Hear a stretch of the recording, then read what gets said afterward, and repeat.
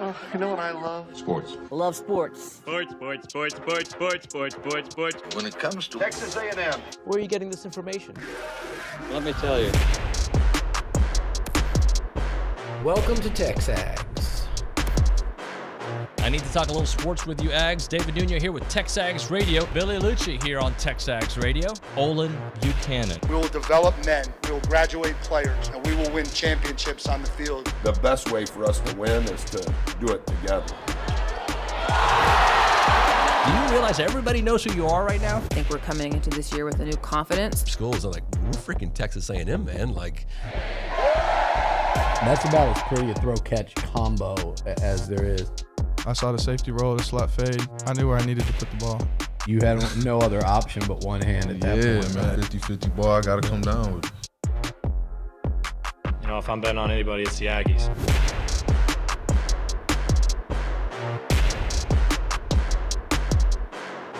Well, here we are, face to face, National Signing Day, part two. Kind of like part one because it's 24, but it's the last one of this recruiting cycle. Welcome into Texags Radio, presented by David Gardner's Jewelers in the Rollo Insurance Studio. It is the Go Hour, presented by the Warehouse at CC Creations. Maroon never looks so good with Maroon You. Today's National Signing Day show is presented by Academy Sports and Outdoors. We want to remind you to have fun out there with Academy Sports and Outdoors. So today is all about the Elko effect and how this class finishes out. Terry Bussey should be announcing here uh, in about 59 minutes or so. We hope to see that he picks the maroon and white. Let's go to the Brian Foley Law Hotline because Olin Buchanan is either there or on his way there to that signing day uh, press conference in Timpson. OB, good morning, buddy. Good morning. I just uh, pulled into Timpson. Uh, just found a spot right up what I think is the Timpson, uh, I guess, ISD building. Uh, so I'm finding my my way. I'm looking at the uh, baseball field, the Bear Country with a big bear on there.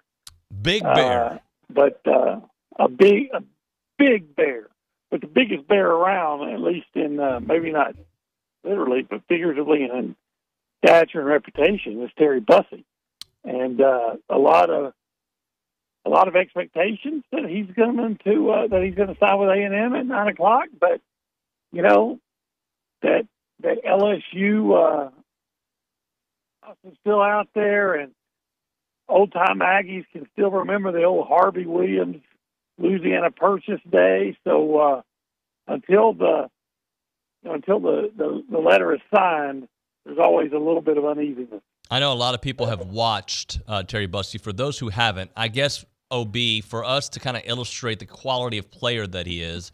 Uh, not only can he is he a dual threat player, he can play on both sides of the ball.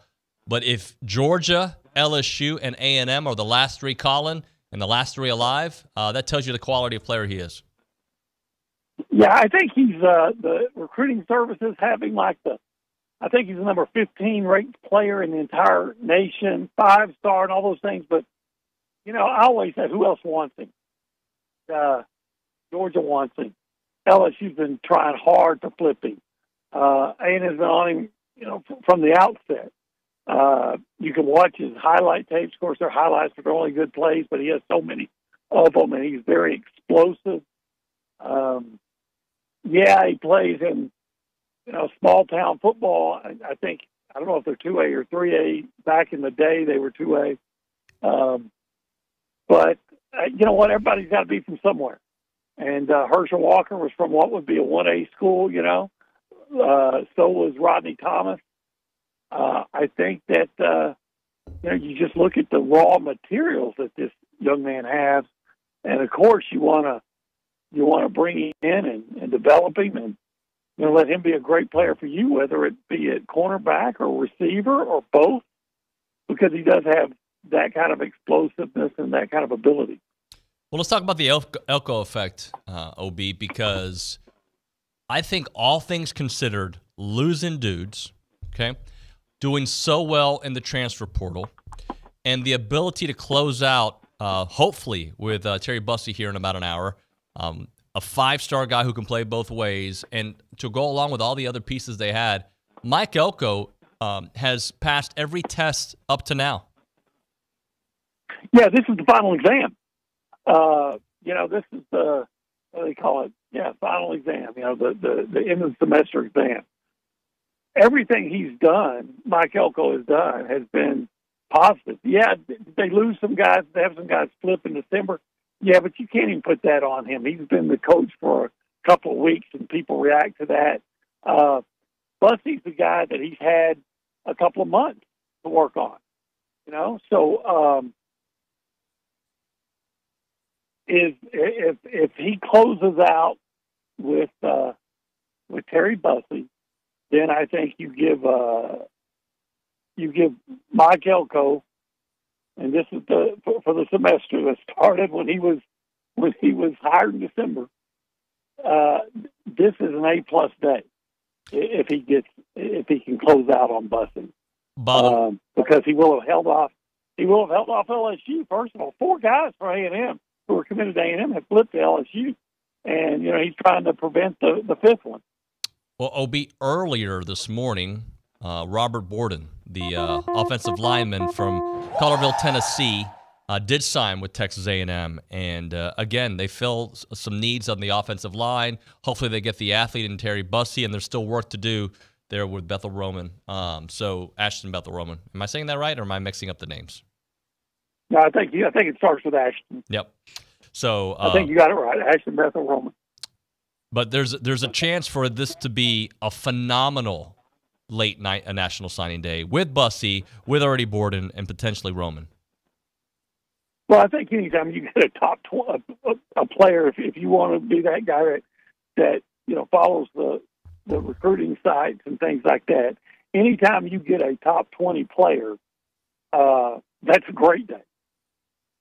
We're talking right now the difference between uh, you know an extra base hit and a grand slam, and uh, uh, again, all the indicators are that a and M that is going to get the signature of of Terry Bussey. That all the indicators.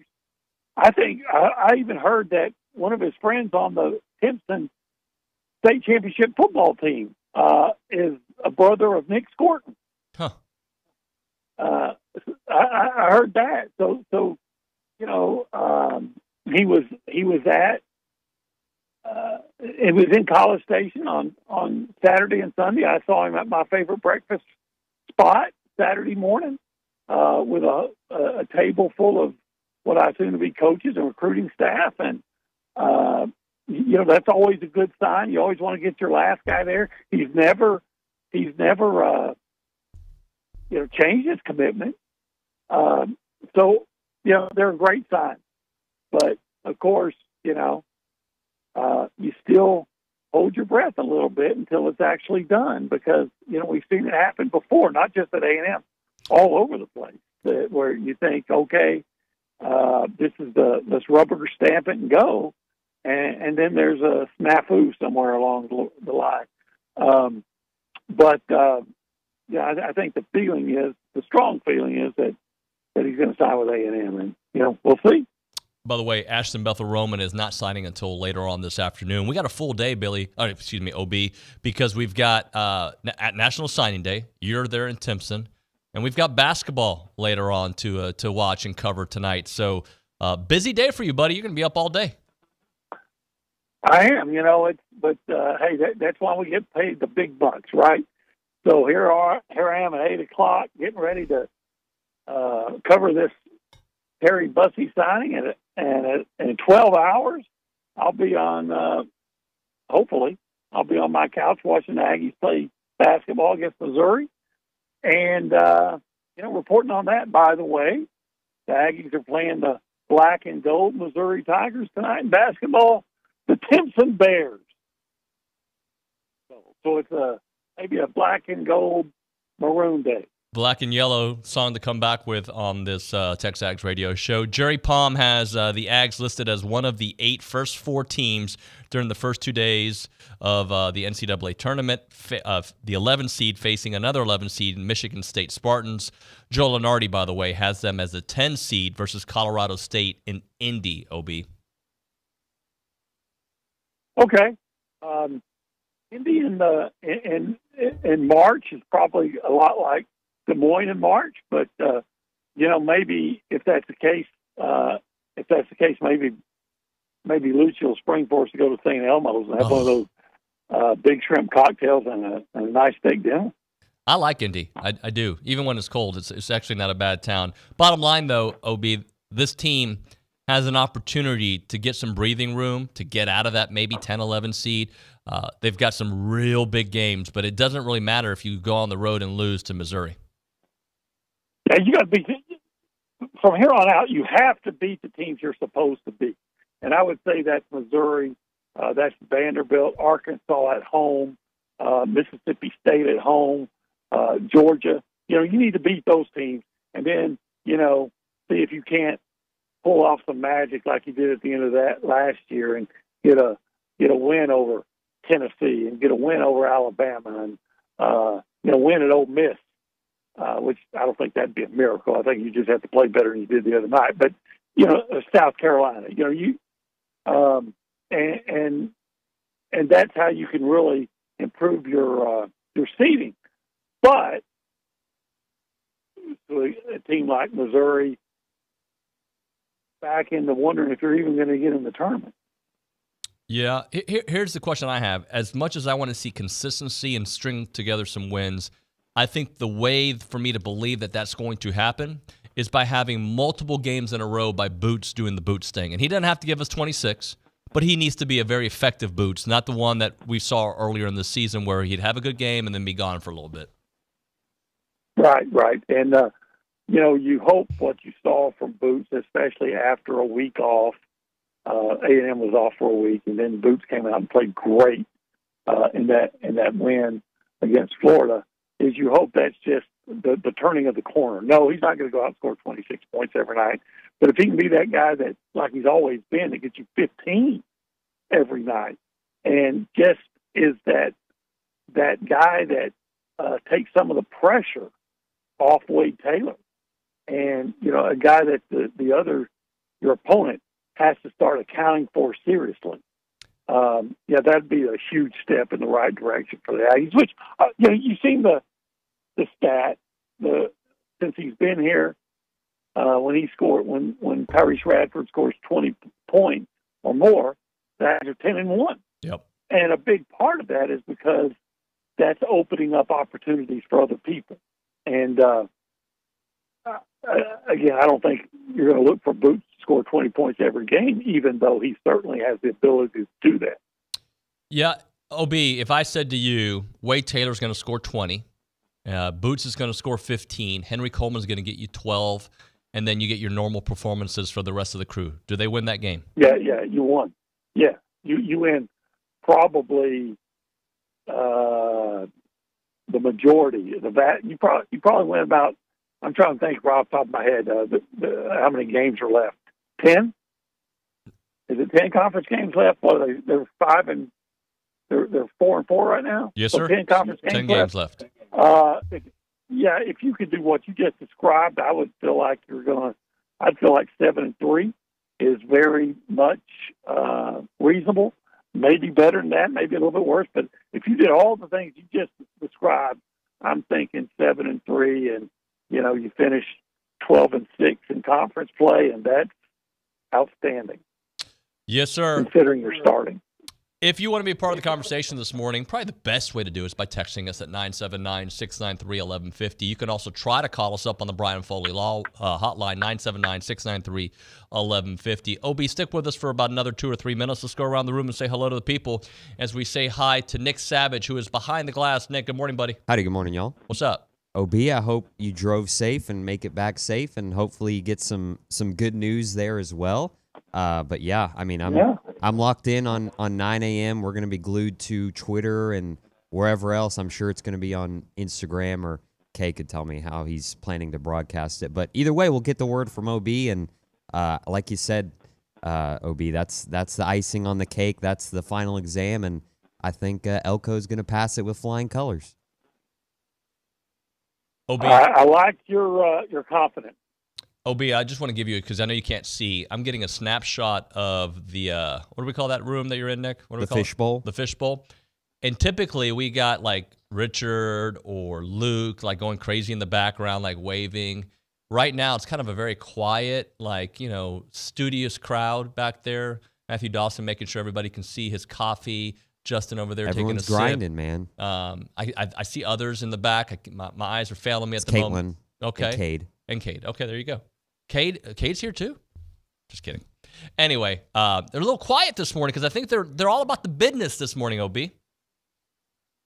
Well, there's a lot of business to tend to. I know it's not like uh, the December signing day, but this is a, obviously an important day for the reasons we've discussed. And so uh, I think anytime you're talking about recruiting in football, um, it's a big day. And let's, you know, a lot of guys need to be coming to work and being ready to produce. And um, hopefully there's a, either way, we're going to be producing content we're just hoping it's all we're, we're telling the you know the the, the the the stories with the happy ending. Aggies gather at the Angry Elephant, and that's where we go right now to the Angry Elephant News and Social Center. Eric Casares is in the house. Eric, good morning, buddy. Good morning, David. Good to be here. Ob, how you doing? Doing well. Awesome, awesome. Yeah, uh, National Signing Day, busy day. Uh, we traveled to Boston this week for track and field, and then also they're in Clemson, so we're it's going to be a crazy week, but I'm excited. I'm ready for it. All right, man. What news do you got for us this morning? Yeah, so first of all, obviously, I'll mention tonight men's basketball takes on Missouri 8 p.m. That's going to be a big one there. Uh, I was listening a little bit to Buzz Williams, uh, the radio show, and he was saying that you know their their best parts about the game that last week against Florida was not. I mean, you know, we talked. To they were talking about like how the the calls were you know pretty bad in that game. The officiating was pretty lopsided, but overall, he thought the calls were pretty fair. Um, he was talking about like their best traits is to get to the free throw line, and they had a 22 advantage uh, going into that game. So it's a big game tonight against Missouri. Got to be looking out for that. Also, women's basketball Hold tomorrow. on, let me, let me let me let me interrupt. Eric, are you aware that Buzz Williams comes on our show, not just his own show, our show every Monday? Oh, absolutely. Okay, just Absolutely. making sure because every once in a while it'd be nice for you to quote our show. Oh, okay, okay. just well, kidding with you. know, but yeah, no, it's a big game, and then tomorrow, uh, tomorrow's win basketball is they're taking on Ole Miss at 6:30. So uh, busy, busy uh, two days in basketball coming up here. Ob, any final thoughts here before we cut you loose? Uh, just uh, you know, let's just see if uh, we have some good news today in about uh, I guess it'd be 43 minutes, and if and if uh, we do, then no matter what happens the rest of the day, it's a good day. Hey, Ob, do me a favor. Let's just say Terry Bussey says I'm going to Texas A&M. Afterwards, during your little one-on-ones and your interviews, would you maybe say or recommend going to eat at an establishment in Bryan, Texas? You know, that's not too far away from this studio. Well, I, w- I would. I would uh, go. You know, for me, and now in intentionally, I have to go far, but I'd go. I would go far to go to Fargo. Uh, and if you need a reason to celebrate, and today would definitely be a reason to celebrate, head on down to Fargo's for lunch and get that uh, big baked potato with the chopped beef on it. I love that chopped beef they have there. Um, but you know what? If you have some bad news and you just need some comfort food to feel better, go to Fargo's and get that baked potato, get that chopped beef. And then, you know what? If you're watching your carbs, uh, ribs, they got all the other things you want too that you'd find at a Yeah. at a uh, uh, barbecue joint. But today, the special on Wednesday, celebrate Terry Bussey with a baked potato and chopped beef. And they also have beef ribs on, on Wednesday too. So what I'm suggesting to people to confuse our good friends there at Fargo's, Alan Belender, Maurice, all the gang, is to order if he signs with A&M here in about 41 minutes to order the Bussey beef ribs. Just order it like that. Hey, can I get uh, a pair of or a pint of the Bussey beef The, ribs? the Bussey special. The Bussey special, all right? Yeah, the Bussey special today is beef ribs. Just say, hey, I need the Bussey special beef ribs, all right? And if you want the baked potato, you can call it that too. They've been around this community for 22 years. 1701 South Texas Avenue in Bryan, without a doubt. The what? Best barbecue in Texas, i.e., the world. I don't know if you know this little bit of information, OB, but that's actually their trademark. Because it's the truth, just like Harry Bussey is the truth. It's Fargo's. Go check it out. See you, OB. You can hear Aggie Baseball online at Radio Aggieland.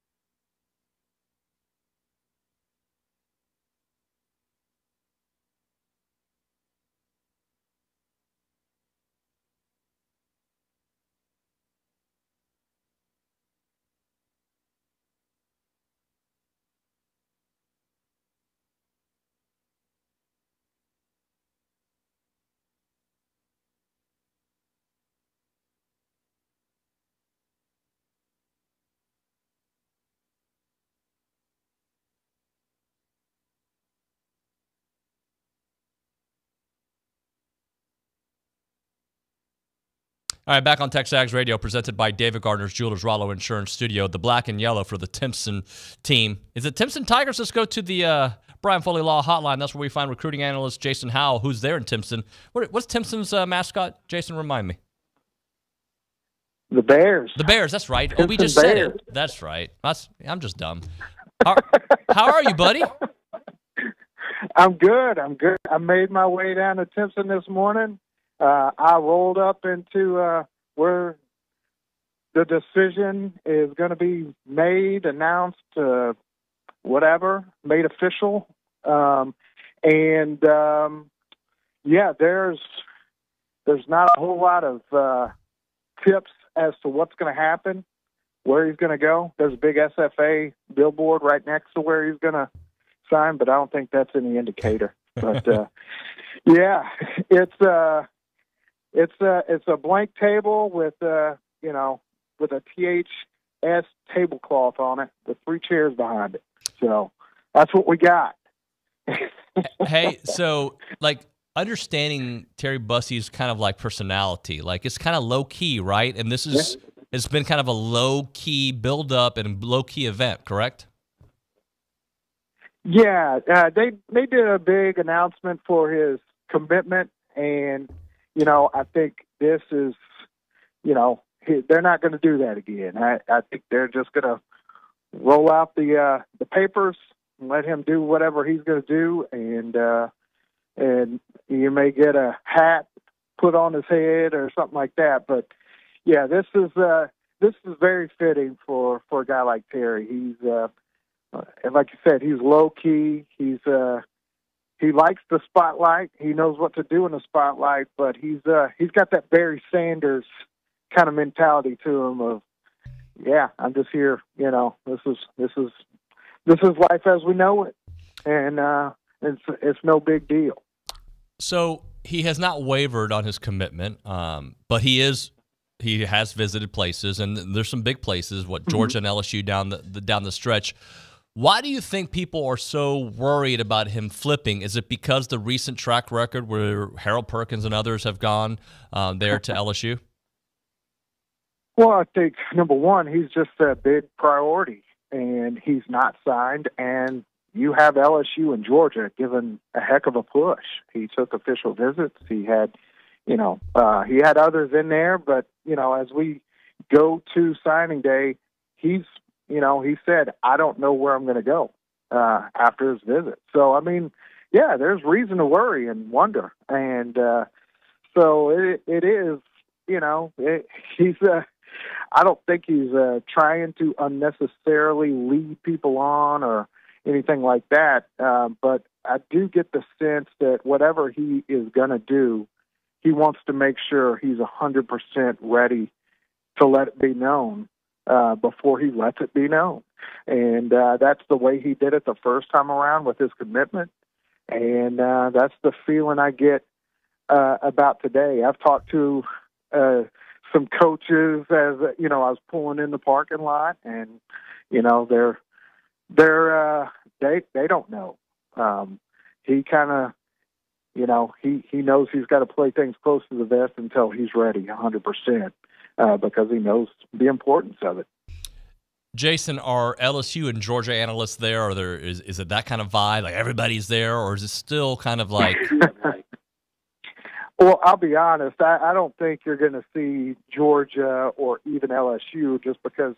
I mean, Timpson is it's kind of difficult to get to. Um, you got to be going to Timpson to get there, and um, you may see. I, right now, I'm the only one in the building uh, outside of a few administrators. Um, but I do expect to see your on three or two four seven uh, you'll probably see some of those guys here, and they'll be more regional. Uh, you may see it, you know, one of the A and M sites uh, here as well. But I don't think that's necessarily an indicator, just because uh, sometimes those guys come like us. We don't know for sure, you know, what's going to happen, and uh, they're coming to a get a story if it is A and M, and and with those networks, sometimes you get that story and give it off to uh, to whatever site needs it. um, or to the national site since Terry is a five star, and this is this is uh, one of the bigger news stories of the day when it comes to National Signing Day. Hey, so let's talk about relationships with Dalen Evans and also also the the great work that uh, Holmon Wiggins did with him and how important that is to Terry Bussey. Yeah, uh, him and him and Dalen, they've they've got a great relationship. He talked about how they, um, you know, they they text and talk, you know, back and forth. And I know he's got great relationships with guys like Miles Davis and several of those guys that you know, have signed or are in that class. And uh, yeah, uh, he's he was he's he's been talking to those guys and going on visits to to A and M and even some other places with some of those guys throughout the recruiting process. So uh, there there is a really good bond there. Um, and like you said, Coach Wiggins, that was that was formed when Coach Wiggins was at Alabama. He was recruiting him for the Crimson Tide, and whenever he moved over, he talked about after. Yeah, he's probably the one he's got the best relationship with, but just because of the prior uh, relationship he had with him. But I will say this: Elko and that staff have done a tremendous job. You know, really uh, making him feel like a prior, you know, making him feel like a priority throughout this last couple months. Uh, they they sent multiple coaches. Uh, they uh, they sent offense and defensive sides of the ball. You know, they've they've done a lot of things to try and get him, you know, let him get to know several members uh, of the new staff. And so, uh, but but I don't know if it'll be enough. And uh, you know, I know LSU had the same thing, dealing with you know letting their defensive staff go. You know, they had to they had to build some relationships as well, and and Georgia got in the in the mix later than a lot of schools. So, you know, it's not like uh, it's not like Elko and them are playing from that far behind. It's just not what it was when he made his original pledge. Talking to Jason Howell here on TexAgs Radio on the Brian Foley Law Hotline. Let's close out with this because there's one last part of your most recent piece. I want to read it out loud and you kind of just give me a, a few seconds on it. to recap, that is a five star all around athlete with playmaking ability on either side of the ball, a six foot six, 295 pound multi sport athlete with offensive tackle potential, and long athletic receiver as potential late signing day class. So, if they're able to, to seal the deal and close out these three, what does it mean um, about? And by the way, the, the names I should probably tell everybody who we're talking about: Ashton Bethel Roman, um, and uh, obviously Terry Bussey is on there, and uh, Robert Borden. Yes, uh, I mean it. I mean Terry's obviously the prize. Um, I mean he he would be the headliner of your class. It would send a statement. Um, you know, uh, I think you know it would be it would be big. You know, um, for them to close out in that manner, um, and uh, and, and add depth at offensive line. I don't think anybody's expecting Robert Borden to come in and and uh, start or even even really do much more than be you know a uh, practice player or a red shirt. But in two years, don't be shocked if you're talking about that dude being a being a player. Um, and and Ashton Bethel Roman, you're talking about a tremendous athlete um, on the track who has has you know bloodlines in football and is doing some big things and is just scratching the surface.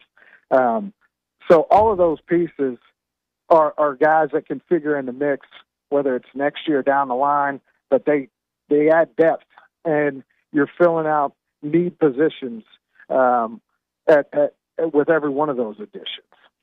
All right, Jason. Thank you so much, brother. And uh, I'll be looking at my phone for updates from you. All right. Absolutely. Thanks so much. Thanks, man. Jason Howell there on the Brian Foley Law Hotline, who is in Timpson with OB. OB will do the uh, writing angle, and uh, Jason will be doing more of the reporting slash uh, just taking her all in. All right, let's hit a break here. When we come back, we will spend a segment on basketball. We will talk to Tom Schuberth, get us ready for the Missouri game, and after that, wall to wall coverage on National Signing Day. And by the way, I'll, I'll, tell you this maybe when we come back, but some of the things we have planned for the show. Uh, looking forward to that. Let's talk Heritage Films right now. Documentary films about families are awesome. That's the that should be the slogan. Like they're awesome. If you've never, and many of you have not, you should watch a documentary about your dad with your dad and with your kids in the same room. You're missing out on a just an awesome memory, just an incredible memory. My dad, as you guys know, had surgery recently. He's in his 90s. He's 93 years old. He uh, broke his uh, hip, had to have hip replacement surgery, got pneumonia while he was in the hospital. He's home, he's doing much better. Uh, but it was a scary time. That guy is resilient. His story is amazing. And I feel like I'm doing a an ad for my dad, but the, the reality is, yes, my dad's got the, the most amazing story. But Chance McClain was able to capture that uh, when my dad was 91. He, he went, interviewed him, he lit up the interview, asked the great questions, and put together a two hour documentary. And then we got to watch it with my mom, my brother and his family, uh, my family, all right, my kids, my youngest, Isla at the time. She was probably eight years old. And uh, to be able to watch that and see his story, how he met my mom, how he escaped Q, all those cool things that he's been able to do, and we got to tell that story with the real detail, like the the memory that my dad has about things that I could never rehash and tell my family. That's why we did a heritage film, and that's why I think you should be considering it for your family, for your dad, for your grandpa, for your family business, for your family ranch, whatever it may be. I think those documentary films are incredible and a real bonding moment. There's also the year flick, so you can do for the youngers, right? I mentioned uh, my my kids being there to watch that. We did one with Annalise, 20 minute video Q and A, just to get to know where she is at this point in her life. Fantastic. Chance McClain does it all. He's very creative. The number 713-893-8341, 713-893-8341.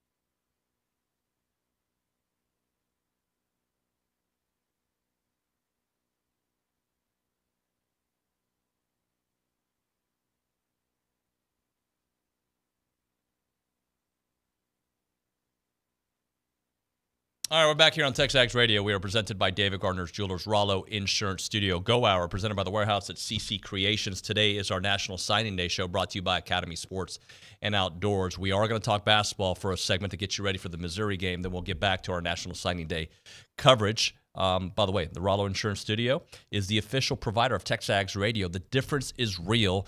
They're an independent insurance company built around educating you on exactly what you're paying for, doing the shopping for you so that you can accomplish all of your insurance goals. Their headquarters is on Highway 6 right here in College Station. The number is 888 Rollo or go to rolloinsurance.com. Let's go straight to the Brian Foley Law Hotline. Tom Schuberth getting us ready for the Missouri game tonight. A&M needs it. Tom, good morning, buddy. Good morning, David. How's it going? I'm all right, buddy. So, you know, today's all about football, but there's a huge basketball game. And when I say huge, it shouldn't be huge. All right. A&M should be able to go uh, to Missouri and win that game because they should be a better team. Missouri is struggling, if that's maybe too nice of the way to put it, how they've done in the SEC. Yet you don't think it's that easy of a matchup, right? I really don't. I think in today's game, it's so difficult to sweep a team unless you're just so superior. And I think Missouri played well when they were here in College Station, and I think it gave them a little confidence. And they are a type of team that they're a good offensive team. So if they're shooting the ball well, particularly from the three point line, I think they can give us some problems. But I'm so sold on A&M's defense uh, the last few games, even though we lost, uh, you know, to Ole Miss. I just like our, our defensive stops late in the game, so I feel like we will prevail at the end just because uh, our defense is so strong. So, what is different defensively? Because they're always a really good defensive team, but I feel like maybe they've ramped up their intensity and maybe the roles are a little bit more defined. I think so. Uh, you know, it seems like we've dropped down in playing uh, larger number of players, which gives guys a little more confidence. They know they're going to be out there a little bit longer. And I think you hit it right on the head. They've defined their roles. And that's usually what good teams do. They get better as the year goes on, and guys understand what their role is, and they uh, they adhere to it. Uh, that's the one thing I, I don't like when players, you know, try to do something they're not good at, and that's a coach's nightmare. Fortunately, that's not happening in A and M, and I thought the last 20 minutes of the Florida game, we were as good defensively as I've seen in the last five years. They really locked in because Florida's an excellent team. Uh, that's the first time I've seen them live, and I was very impressed. And you know, we go back to what a fine line it is in winning and losing. Florida could have easily won that game. Obviously, they had two shots to win it, and they they had a couple turnovers late. But uh, that's what makes the game so exciting, and it's why it's so fragile with A and M. They've got to you know, step up every opportunity on the defensive end so they don't give the selection committee any uh, doubt that they're a tournament team. Tom, one of the things that A and M said yesterday is they're they're embracing these uh, close games, and look, that is life in the SEC, life in conference basketball. There's going to be some tight, tight games, but I feel like every game in a, uh, for A and M in the SEC has been a super tight game. Absolutely. You know, David, college basketball is the longest running season, I believe, of any sport in college. So, you know, so many things can happen over the course of that three or four months, particularly if you advance in the postseason. Um, I tell people all the time it's like life. You know, when things are good, it's it's never as good as it seems, and when things are bad, it's never as bad as it seems. And that's what I would tell the A and M fans that it's a fine line. I mean, David, two of the games we won, Kentucky and Florida. Ironically, uh, Kentucky had the ball in regulation and turned it over. You know, if they make a shot, we lose. Our whole perspective of that ball game is different. The same thing happens to Florida. What if one of those uh, young men hit the jumper at the uh, end of the game, and we're out over there, you know, second guessing everything we've done? So it is a fine line. And the one thing I like about the Aggies, they they really don't overreact. I mean, they know who they are and I think they have so much confidence in their defense that they're going to always be in a ball game. Now that scares me a little bit when you play an elite team that can really score, and I think you're going to see some of those in like Tennessee, excuse me, in Alabama in the future. But Missouri's capable of doing that. Uh, South Carolina, who's obviously a very good team, I, I wasn't a believer, but they keep winning. Um, they uh, lost, Missouri lost in overtime at South Carolina and played them tough at Missouri. So they're a good team. They just haven't had a lot of success. Their guard play is good, and they shoot the three ball, and they they have a good field goal percentage. They're two negatives. They're they're not a great defensive team, and they do turn the ball over. They had 15 turnovers against us the first time, and hopefully we can uh, turn them over again. I I made a comment if we hold them, uh, if A and M holds Missouri uh, or forces more than 15 turnovers, I think it's a no-brainer. Uh, the Aggies win the game, but Missouri takes care of the ball. I think it'll go down to the wire. My friend Bob Sacamano just sent me a text, um, and he says track and field actually the longest running college season with basketball not that far behind. Uh, Tom, let, us talk a little bit about the importance of starting fast because we talked about closing games, but A and M for some reason falls in these holes sometimes when they start off games. They've got to, especially a team that's looking for their first win, who plays better at home, even though they haven't won in the SEC yet. You can't let that team get the the confidence from an early lead. Sure, and that's where I think you've got to establish your offense a little bit. I, I wish we were a little more patient at times in the beginning of the game. You know, get a lot of ball reversals, some inside-out touches, and get everybody involved. Uh, when A and M does that, you know, we we've got enough good shooters. I'm still convinced of that. I'm just sometimes a little disappointed in the shot selection, but uh, we need to move the ball. And I'm not saying shorten the game because I think we're the better team. A and M is. Um, and typically, when you have more talent and you're more explosive, you try to make it more possessions. I know uh, Buzz talks about possessions all the time, and when you're playing a really good basketball team, the less possessions you have, the greater chance you're going to have to beat them because there's not as much room for error. So I hope we're very patient and we get uh, some inside out touches. Uh, I also hope we establish an inside game. I mean, I'm a Henry Coleman fan. I know he hasn't played much here recently. Uh, I don't know if he's injured or what, but he's uh, an excellent player. I've loved his attitude, but uh, you know, A and M wins by committee, and I, they seem like they have enough confidence, David, that every time they go out, because they play hard and they're consistent and they play excellent defense, that they always have a chance, no matter who they're playing. Talking to Tom Schuberth here on Texags Radio, presented by David Gardner's Jewelers.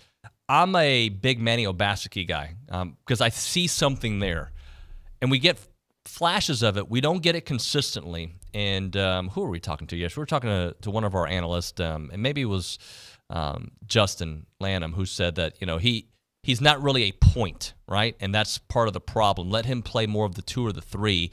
Uh, what do you think about Manny when he's out there? I agree. I like him on a, wing position where he doesn't have to be the main ball handler. Uh, David, I feel like some of the substitutes, you know, they want to play more like any person does that's on a team. And when Manny comes in a game, I think sometimes, in my opinion, he forces it a little bit. He's constantly driving to the basket, and he's dangerous that way. I, I wish he was a little more patient. But uh, one thing I have to say, I don't know if you recall, but in the second half, of that Florida game. He was so uh, tenacious on defense, uh, hawking that ball. He caused a couple turnovers just by him, you know, getting into the dribbler, and, and they fumbled the ball, and they they had a difficult time getting into their offense, and that was Manny. He's incredible on defense. So I'm sure Buzz knows his habits and his tendencies much better than anybody, and he's utilizing them in the best way he can. I just uh, wish I don't know if you feel this way. Manny would relax a little bit offensively and let let the offense come to him rather than him being aggressive and kind of drive in there and force the action. And that's to me when he gets in trouble. You know, he's throwing up some, you know, like uh, little short hooks and they're missing the entire rim, and then teams have an opportunity to run back. I'm not trying to be critical of him, but I, I do love his energy, and I thought he was one of the key guys in the in the victory against Florida the other day. Tom, uh, are you still confident this is a tournament team? I am. I mean, I think they'll make the tournament. Uh, there's no doubt in my mind, unless they just collapse, and I just don't see it happening. Uh, you know, you and I talked in the beginning of the season, and we were thinking 12 and six. I mean, I, I think it'll be difficult to be that good. If they are, there's no question.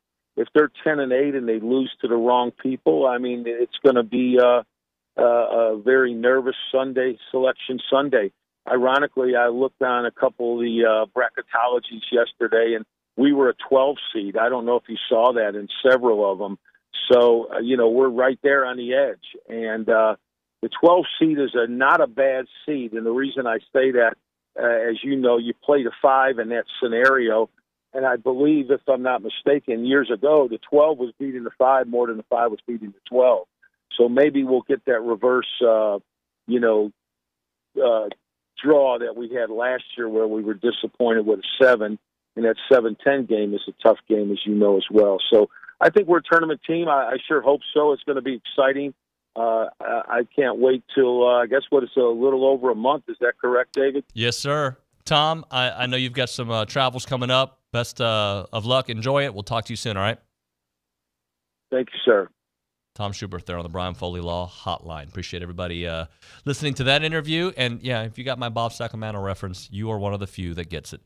Right now, we're talking about 12 under 12. Did you or someone you know graduate from Texas A&M within the past 12 years? And are you leading by example in business or in service? If that's the case, the Association of Former Students would like to invite you to nominate yourself or someone that you know for the 12 under 12 Young Alumni Spotlight. So each year, the association recognizes a dozen Aggies who have graduated within the last 12 years for their business accomplishments, civic or military service, philanthropic efforts, and outstanding representation of Texas A&M's core values: excellence, integrity, leadership, loyalty, respect, and selfless service.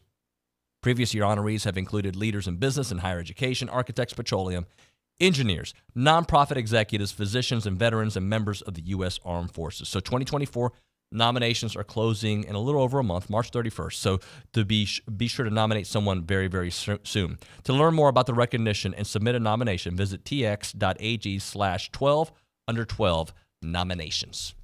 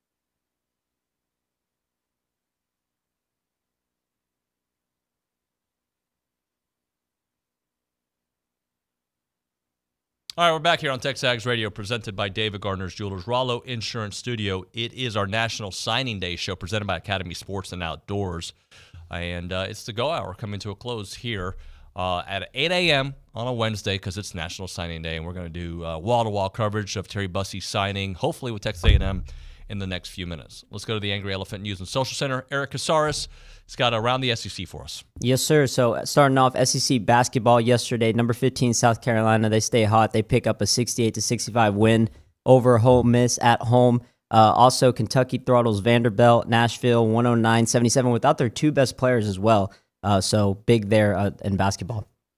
Good stuff there. Anything else? Uh, just some storylines. Uh, it looks like they. Oh, never mind. Actually, I don't have anything. All right. Uh, that's called the shortest segment of Around the SEC in the history of the SEC. Appreciate uh, Eric's good work there. A couple things coming in here. Dave and Temple. Newsflash 50 years ago today, Pan Am uh, Yankee Clipper uh, Flight 101 from London Heathrow lands in New York's Kennedy Airport, and Beatle, Beatlemania arrives. It was the first trip to the United States by the Beatles, a British rock and roll quartet. I did know that. That had scored its uh, first number one U.S. hit six days before with I Want to Hold Your Hand. Huh. Look at that. This day in history on Texags Radio. I bet you didn't know that was going to happen. Good stuff there, Dave. Thank you very much for the info. I'm a big Beatles guy, believe it or not. I know Nick won't believe you or believe me, but I am. On the show, the rest of the way, Bronny and Liucci will be with us. All right, we will have both of those guys uh, breaking down Terry Bussey signing at nine o'clock. We will talk about Robert Borden from Tennessee, who did sign earlier this morning. If you missed that, Ashton Bethel Roman, I believe he signs this afternoon. We'll break down his game, his tape. Uh, we're going to talk about just the late signing day over the years. That's going to be something to, to kind of break down. And then we'll kind of break down the best overall player from this class, this recruiting cycle, the immediate impact, the highest upside, most reliable, the highest floor, the fastest, the strongest, the biggest sleeper, the first off the bus. All that's going to be part of the program, right? So, very good stuff there. All right, uh, that's going to do it here for the Go Hour on Texags Radio. Wall to wall coverage here on our National Signing Day special, the late National Signing Day special, brought to you by Academy Sports and Outdoors. A lot more over the next two hours is Texags Radio.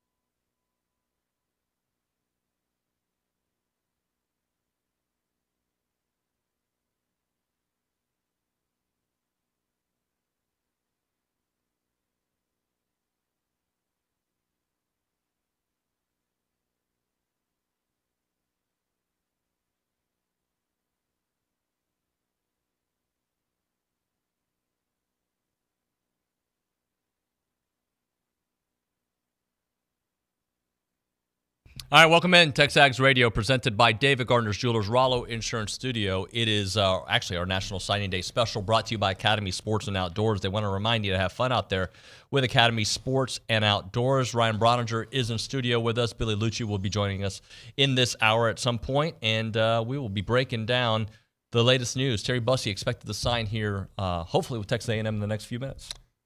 Yeah, we're monitoring. Jason's on the scene. Olin's on the scene. Uh, Terry just showed up and is sitting down at the desk. I believe if you were wanting to stream that live, you can go to the Timpson ISD Facebook page and we'll see how much their servers can handle because there'll be a lot of folks in uh, Texas and Louisiana tuned into that one to see where he ultimately chooses. But we have maintained that the Aggies are in a good spot. Uh, we have not heard – otherwise. And so, I mean, as I'm sitting here talking, this thing could have already happened. I haven't gotten a text about it just yet. Um, but, you know, crazy thing, you ne- you're never 100% in recruiting, but we felt good about where A&M was going into the week. Um, didn't hear anything on the other side of the visit that would make us think otherwise. And it looks like it just went down. Terry Bussey signs with Texas A&M. The buzzard means he is ours, buddy. It's official. I mean, what a huge recruiting win for Mike Elko, for Holmon Wiggins on the offensive side, for Ish Aristide on the defensive side, for Texas A&M in general. Like this is a statement by Mike Elko. You can say all you want to about Terry Bussey has been committed to Texas A&M September, since September, but in this recruiting game, relationships matter. Yep. So Mike Elko comes in and he's essentially had to go get Terry again with no background. So there were a lot of folks, if you'll remember, when Mike Elko was hired, that had a very strong opinion about him as a recruiter. I don't know where that was formulated from, right. but it was happening on our website, on our message boards. And there's a lot of you out there that are listening to this that are celebrating like crazy because A&M just signed Terry Bussey. But you better go back and you better start deleting maybe some tweets, deleting some posts, because this is an enormous win by Mike Elko, and you don't know. We didn't. You can say you thought Mike Elko was going to be a certain way as a recruiter, but you didn't know because this time here, he wasn't the head coach. He didn't have access to the stuff he's got access to now as the head man in Aggieland. And Billy just sat down, but like. I think what stands out about this, obviously, Billy, is A&M gets a phenomenal player, mm-hmm. sensational player that can impact both sides of the ball very quickly. But secondly, like Mike Elko is putting a lot of narratives to rest in a couple of months here in College Station. Yeah, I think he already had, and this will just this will get the attention of the casuals, as they say. You know, like anyone that's been following this knows that whether they got Terry Bussey or whether LSU got him, Mike Elko and this recruiting staff, this recruiting team, and um, with that I mean his coaches and his entire department over there that he's put together. Anyone that's been following this knows that they're going to be not just good, they're going to be really good here. And they're going to do a hell of a job. And like you said, he had not been a head coach here, he had been a coordinator only. Um, and you know how on certain staffs, how the structure, you know, how things are structured in terms of, like, in terms of uh, coordinators recruiting and whatnot he got to Duke and did some really nice things on the recruiting trail by Duke's normal standards. He did some really nice things in the portal to put that team on the field that they had last year before the quarterback injuries caught up with them. If you're following this stuff, you have no idea. You know, you, you this would not have surprised you um, if you're following Elko and his staff's continued pursuit of Bussey. Bronny, we talked last night. This never felt like it was getting away from A and M. No, that was all right drummed before, up yeah. out out to to the east. Yeah, across the, we need to talk about that. we'll talk about that in a minute. Yeah. but this was all drummed up in Louisiana by their commitments. They had this push to say, "Hey, let's get off." I'm not saying LSU wasn't a real player. We all know they were, but on our side of things, this never felt like it was getting away from A&M. There was never any panic. There was never there was concern because they were recruiting an elite player and they obviously wanted to get him in the worst way. But A and M felt in control of this thing, wire to wire, and it felt like LSU was drumming things up just at the slightest sense that they had a window, and that's what it felt like. this was an outstanding recruitment, really from start to finish, because you had two A&M staffs sign him. Uh, you saw what happened with some guys at the very beginning of a coaching change. This always happens. It's so hard to hang on. And, and when they didn't get Bussey early, some people were panicking. Oh man, that's not good. If they were going to get him, they. You and I felt like that was fine, because it always felt like Terry Bussey wanted to be an Aggie. He wanted to play at Texas A&M. He wanted to come from Timpson to College Station. Uh, it always kind of felt that way, and all it took it, the new staff had to come in and and win him over, sell him on the vision, and I think I really think they did that pretty quickly, and I think that's to be commended. And Nuno, this is big uh, for a lot of reasons, and I want to talk more about Bussey the player, but it was also big, Bronny. We talked about it on a couple levels. Nuno, would you care to? I mean, I'm here. I'm here listening to the to two experts. Go ahead. I'm tennis. Be the third expert. I want you to be the third expert. Why is this so big? And we'll, Well, we'll- I mean, if you look at what A and M lost over the Mhm. last year, they have basically replaced that. You know, Okay. another five-star receiver, and by the way, who can play both sides, right? Absolutely. Where where are some of your biggest needs? Uh, the defensive backfield, which they've addressed, and he can play there. Uh, and wide receiver was an Mm-hmm. area. When you lose Evan Stewart, you lose a five-star. It hurts. And from what I've never met Terry Bussey, but from everything I've read and, and heard from you guys, Five-star character, too. There you go, and that fits into what they're trying to build here. Yeah, I thought it made a lot of sense on and off the field. And whenever you're trying to change a culture and also still trot out elite talent and football teams, guys like Terry Bussey are key pieces to that. Um, I, I thought just getting to know him the very little that I did, but talking to Hal and talking to the, the folks in Timpson, I went out there and covered one of their high school games that was in the wood, their playoff games in the Woodlands, and just talking to the staff, like it just felt more like an A and M kid that was going to thrive in College Station more so than he would in Baton Rouge. Hey, I felt like if they if they didn't get him, that was part of what was going to hurt more. Is you're that close to the finish line on on a special talent, a real character kid that just feels like this is the fit. It's always felt that way, and I believe it's always felt that way uh, for Terry. You know, I like so. You to if you were to lose a young man like that to a team in your own conference, you know, LSU's made such a big deal about keeping their kids in state. If you let a talent like that cross the Sabine and go over there and, and play in Louisiana, I thought it would have been it would have made the loss sting that much more. They didn't lose him; they got him. It's actually now a, a big knot on the head of Brian Kelly, Sherman Wilson, who does a lot of tweeting, and LSU. With that said, the prize for, for the Aggies is a guy like you said, David, that can play both sides of the ball, and and there are needs at both spots. And I know they went a long way towards addressing corner for sure.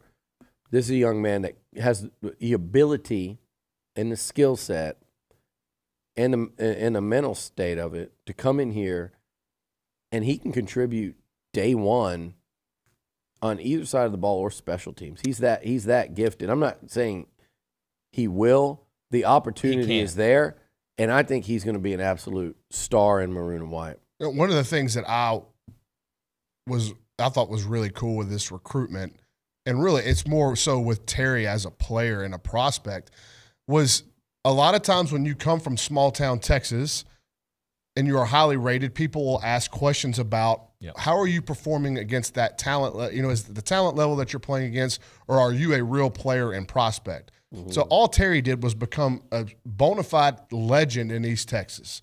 Like put himself on the probably last two decades of East Texas Mount Rushmore Texas high school football players, along with like Pat Mahomes. Like he's in Trent Williams. Like that's where Terry Bussey's legacy. Yeah, like he is of the elite, elite to come out of that part of the state. About a little guy by the name of Earl Campbell. I said the Tyler last two decades, but all time. Whenever you look at what he was Maybe. able to do and go when he went to Orlando in the Under Armour game, and he goes out to Hawaii to the Polynesian Bowl, and he performs at that level, he was the best receiver on the field in the Under Armour game against the top talent in the country. So he takes that small town narrative and throws it out the window right there. Yeah. Hey, look, there was. A, are you going to a commercial? here? No, we got ten. mi- We got eight minutes. There's another part of this too. I talked about need at corner, need at receiver. I- I'm not sure as we sit here today, the need isn't more Receiver. at receiver. I mean, you look at all they did in the portal at corner. Um, there's real opportunity there. But point being, a, a five star talent, nationally recruited, could have gone anywhere he wanted, committed to A&M for a long time, gets a really, really late push. Uh, let's call it a defensive player. Um, you lost Anthony Hill. You lost Harold Perkins late. Two rivals, one to LSU. Mhm. I saw the tweets going out. Somebody was thought they were clever. You know, they kept liking old tweets from Harold Perkins on his A and M visits and the A and M gear and stuff, uh, insinuating something that never happened. And, and I'm talking about Bussey flipping. Uh, but you did lose Perk to LSU. You did lose Anthony Hill to Texas, your rivals. They broke they broke a recent little trend here, and that that uh, to call it a trend really isn't fair because of all the highly regarded guys and the major battles A and M has won in the last few years, in the last few years under Jimbo, and even in the first part of this cycle under Elko, guys he kept, guys he went out and got. But this felt to a lot of fans, and I followed it and, and know how people were thinking. A lot of people were getting Anthony Hill, Harold Perkins vibes. They were worried about that because it tracked similarly. What they what they didn't factor in were the two big differences.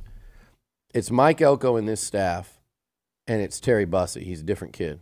He's a different type of person than them. Not to say they're bad people, but he, he's just a different person.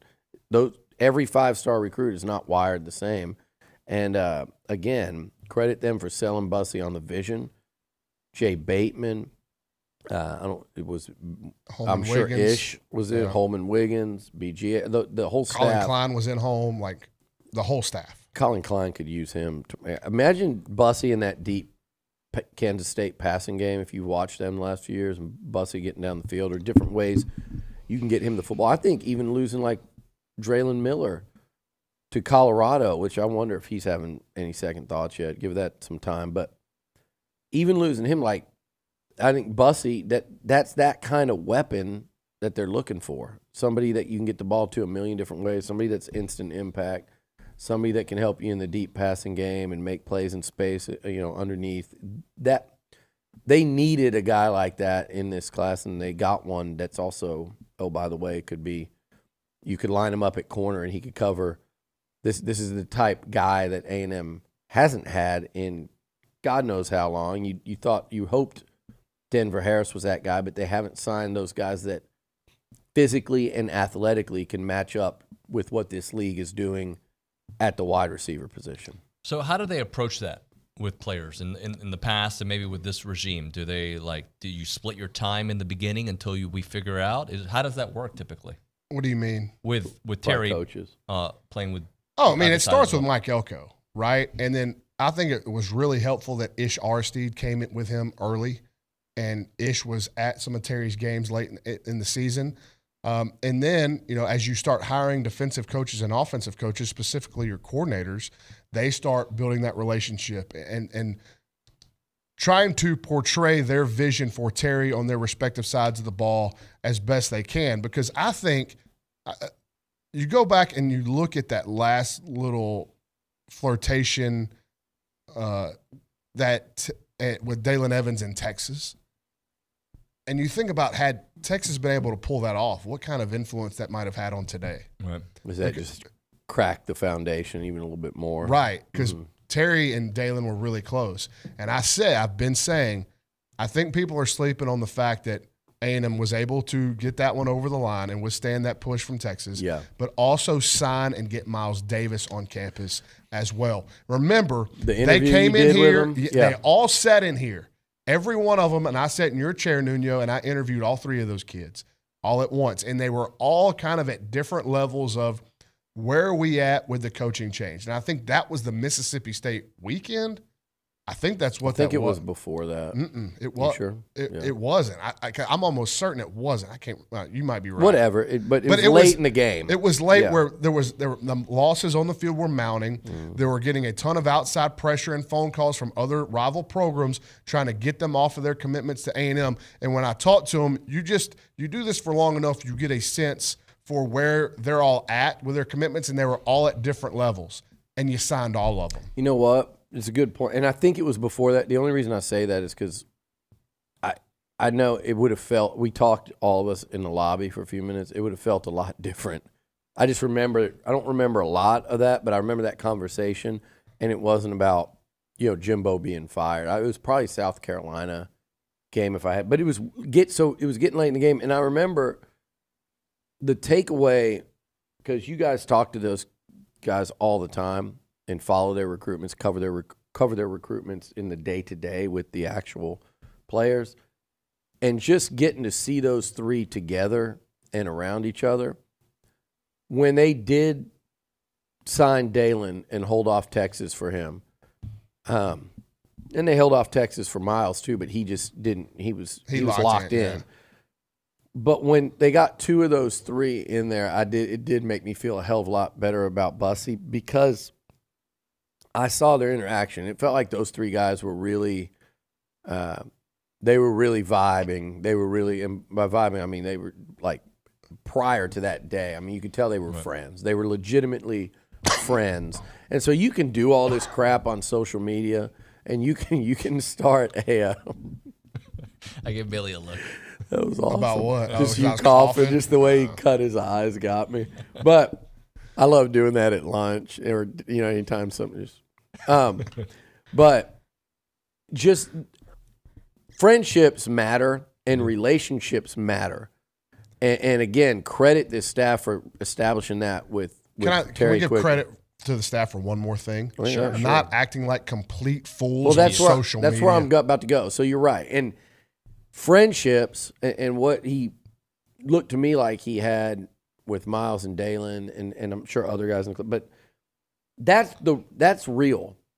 Putting together a a last minute social media push, if I love the player that doesn't decide based on that stuff and just decides this is where I want to go play football, this is where I want to go to school, this is where I want my degree from who who gives a damn about this? It's fun. It's fun to follow. We're all on it. We, you know, we all get news off of it and stuff. But to when I saw those three guys and when two of the three had already signed with A and M, I felt way better about that than hey, let's put together a bunch of uh, you know, stu- bunch of images and graphics on in, on Twitter and Instagram to try to get this guy to. My LSU. issue is not with that with the fan bases. They No, I know. That's not what I'm talking about. That was coming from LSU staff members. Yeah, members.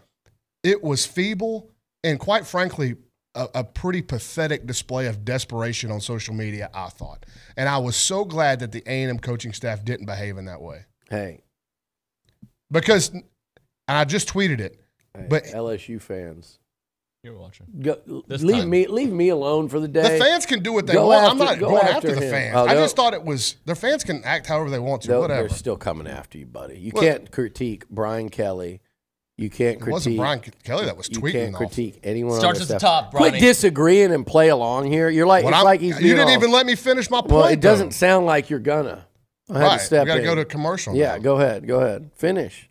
Ooh. Finish. Go. Come on. Get it in. What I was saying is hitting post does not equate to desired outcomes. Just because I can tweet more than the opposition and I can get a purple and gold train going down the tracks Well, as it's a kind of gift. a cool graphic, but we could do that. We should do that with a maroon train because we we actually have the tracks right there. Well, But that's not recruiting. That's desperation, and there's a difference. That is, I, I don't. Yeah, they were desperate. Yeah, they were. They knew that they had. Well, they created the up. graphic where they had flipped all these guys, and then I don't like Jordan Gilbert tweeted the graphic. I don't think Jordan Gilbert came up with that graphic or wanted to tweet it. I think somebody on that staff probably told him, "Hey, we made this. Can you tweet it out?" But you came but Ronnie, A&M." you do know better than everyone that this that does that goes on a lot of places. Sure. In this instance, A and M was on the right side of it. They weren't the one frantically swinging. They weren't trying to pull off a last minute steal. We see it happen. I, I feel like you. I felt like it was just a little too forced. It was a little too like kind of obvious. It was a little too obvious where it was coming from. I, but I kind of I'm I'm kind of not as riled up as you are about that, which is rare that I'm not as riled up as him. But the whole thing of of LSU always interests intrigues me because they're like, don't leave the state, don't leave the state, be loyal, be loyal, don't leave, and and and I, I respect and appreciate that about the way they can keep those Louisiana kids in state through different regimes. Yeah, oh, they yeah. could be they could be total dog water on the field and still get you know, There's definitely Curly. I loyalty, watch yeah. I watch Curly Hallman and Gerry DiNardo still get actual players there, but they do that. They do that, and on that graphic are guys like Relaford and Don McKinley, and and I'm looking at it going, yeah, I get that, I get that, and that's exactly why A and M needs to keep Terry Bussey. So you can put all those guys, Weston Davis, Cohen Eccles. You know, Weston flipped before Jimbo was even let go, and Cohen Eccles. I don't. I'm not sure how much of a fight A and M put up for him. I know they went in house or whatever, but I don't think anyone was crying over that one. The two Louisiana kids. I think Relaford's a great player. Mhm. And I think Don McKinley will be. And Dom will be. He's got So, super high upside. Obviously, A and M it would have liked at least, and they would have they would have kept Cohen had he not flipped. But half those guys are from, and even Jordan Gilbert, they're from the state of Louisiana. That's your whole push is to keep guys in state and tell them not to leave and not to go into Texas. But then you're trying to recruit Terry Bussey to leave Texas and go to LSU. I'm glad the state of Texas won out. And it's the one time you'll hear me say this. If they want to start playing that game, and they are, and they're playing it well, they kept everybody in that state this year. I do think they got a hell of a lot of help with Nick Saban retiring Yep. and Jimbo Fisher getting fired, meaning A&M having a bad enough year that led to a coaching change, and you had to reestablish eight million relationships. The two guys we talked about are D. Lyman. Oh, by the way, Elijah left uh, and didn't give, you know, Sean Spencer very much time at all to recruit these guys. They gave those two kids basically gave Spencer zero time with Relaford and like a week, two weeks with Don McKinley. So, I Texas and A and M both need to players like Terry Bussey and Anthony Hill and Harold Perkins. I don't want to see them in burnt orange. I'd rather see him in burnt orange than purple and gold. Now, as somebody that's wanting to see A&M succeed, if you want to go out to Florida or Tennessee or, or Georgia or wherever, I don't think that affects the Aggies as much. But if you're telling me you want to see him go to Oklahoma, Baton Rouge, or Austin, I say I want to see him in maroon and white or I want to see him in burnt orange Yep. as opposed to going to those other two programs. LSU has enough talent in Louisiana and in the South. They make it very difficult to go into their state and get guys when they're up.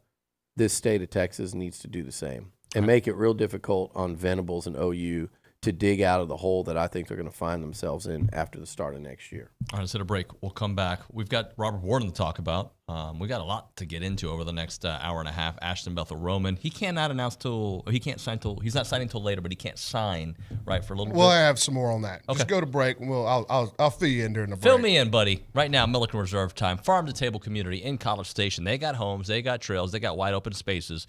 And their mission is to build a healthy community around nature. And they've done that by committing uh, lightly on the land that Milliken Reserve is found on. They've created a sanctuary for family, for nature, and for community with those 2,600 acres of open space, those 30 miles of trails. You got homes, you got farms, you got it all out there when they want your families to connect with nature and with each other. They've got an extensive extensive network of trails throughout a wooded landscape that includes walking and equestrian paths, creeks and ponds, and gathering areas. They're committed to maintaining and restoring that natural habitat. And when you go there, don't be surprised when you see all the white-tailed deer, the songbirds, the rabbits, and the turtles out there.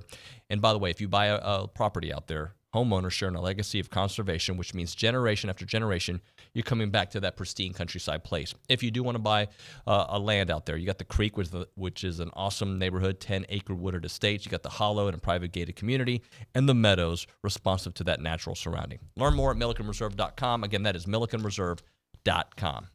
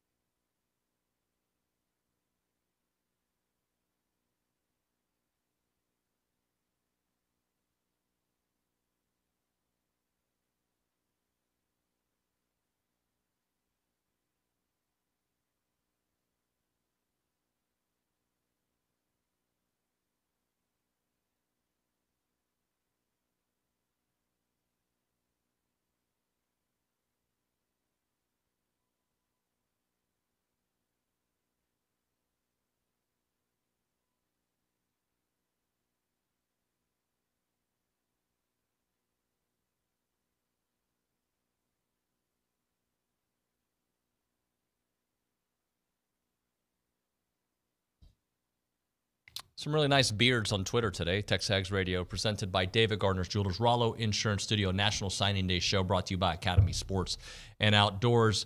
Bronny, you were going to shed some light on uh, the uh, Ashton Bethel Roman situation. Yeah, so Fort Bend Ridge Point wide receiver, we've gone we talked about him quite a bit. Signed with Arkansas in the early window. There were some coaches coaching changes made in Fayetteville after the fact. Um, so he filed for a release from his letter of intent, and it was granted eventually after it sat on some people's desks for longer than I thought was appropriate. But regardless, that's either here nor there.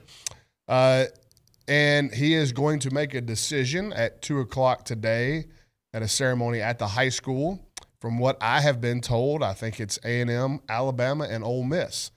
Um, I think Baylor has kind of fallen off there, even though he took a, a visit to Waco last weekend that was a day ahead of a visit that he took to Texas A&M on Sunday and met with the staff here in College Station briefly before going back to Houston. Now, I'm a little bit fuzzy to be honest on what he can and can't do today. I know that used to be a rule that once you sign one letter of intent, you can't sign another one. And I remember Zach Evans out of North Shore signing with Georgia, getting out of it, and I don't ever think he re signed with Ole Miss. I think he just committed there and just went there.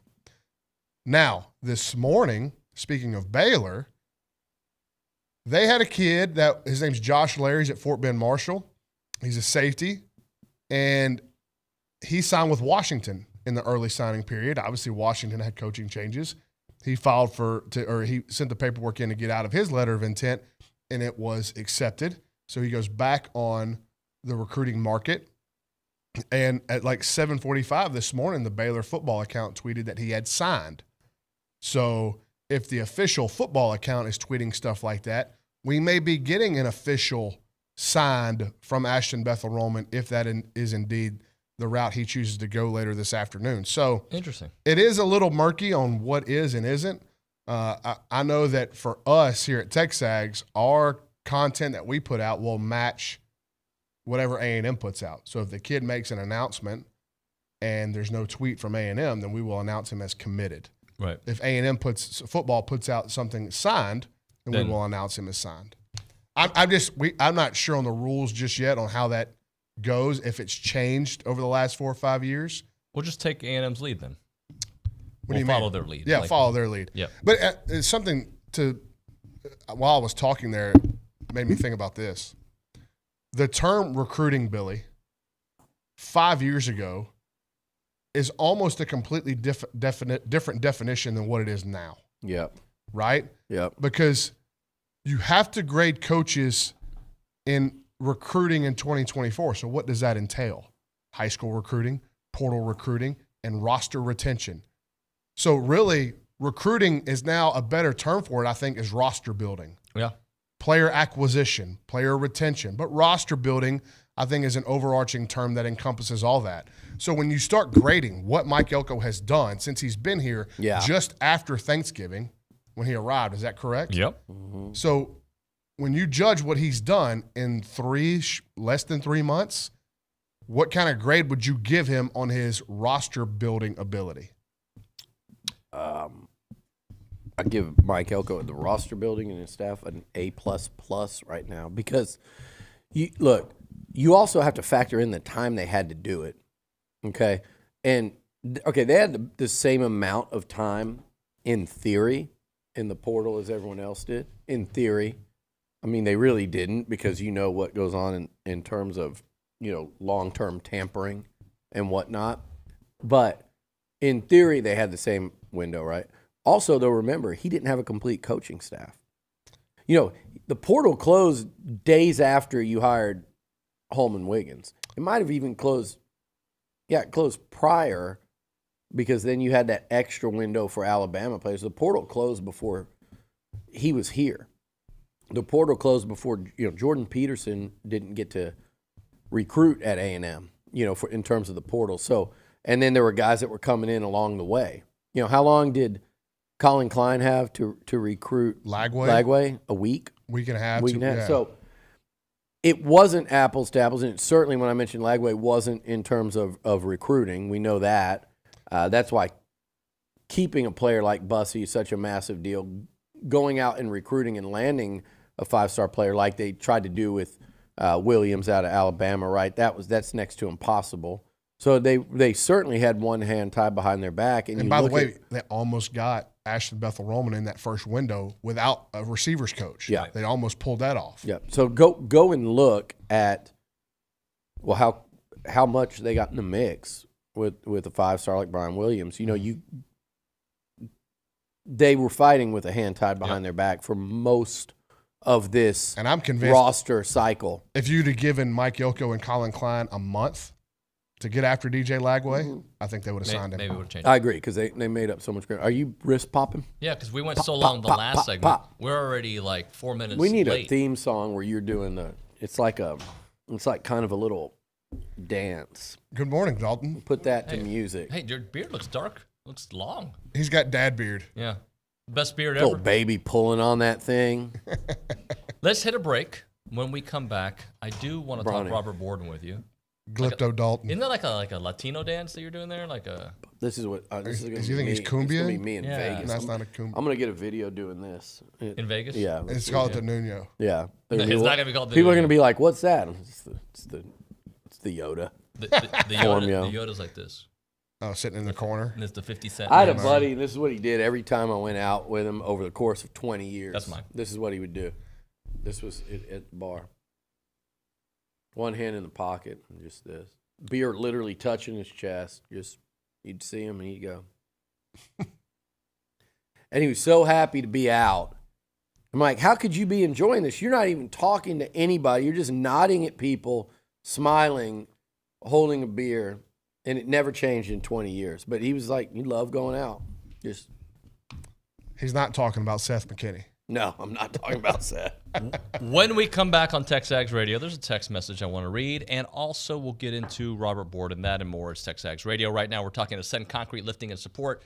You don't need to replace it, guys. You just need to lift it. 979 933 8527. They are locally Aggie owned and operated concrete lifting and support company that provide an easy, clean service at half the price of replacement. They're problem solvers. So if you've got a terrible driveway situation, a patio situation. Maybe your business has got some concrete issues where the concrete's a little bit too lifted and it's uh, it's a hazard for those who are coming by. You have old folks at home. You don't want them to trip. Uh, you can have it lifted. You don't have to completely renew your driveway and replace it. No, that costs way too much money. You can do it at a fraction of the cost by just lifting it with our good friends there at Ascend Concrete Lifting and Support. They are local, they are statewide, they are nationwide. Doesn't matter where your issue is, they will come to you. 979 933 8527. They can raise and stabilize any form of concrete slab, and once the project is finished, the appearance is close to seamless to the eyes. Residential help out there, commercial help, industrial, municipal. Remember, remember, it is Ascend lift, a fraction of the cost of replacement. You can follow them on, on Facebook and on Instagram. Call them up 933 8527. Again, that number is 979 933 8527. Don't replace it, lift it.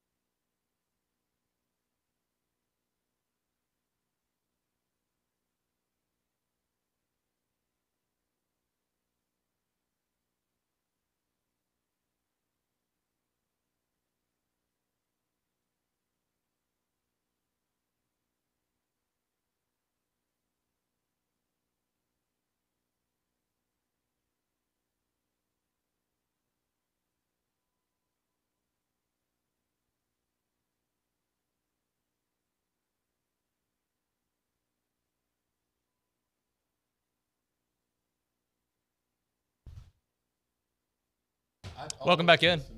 Hey, buddy. TexAgs Radio. We're presented by David Gar. You got a little little food situation right there. Is it It's the there. Bavarian cream or was it the sugar? Yeah, I couldn't tell. It was a little speck.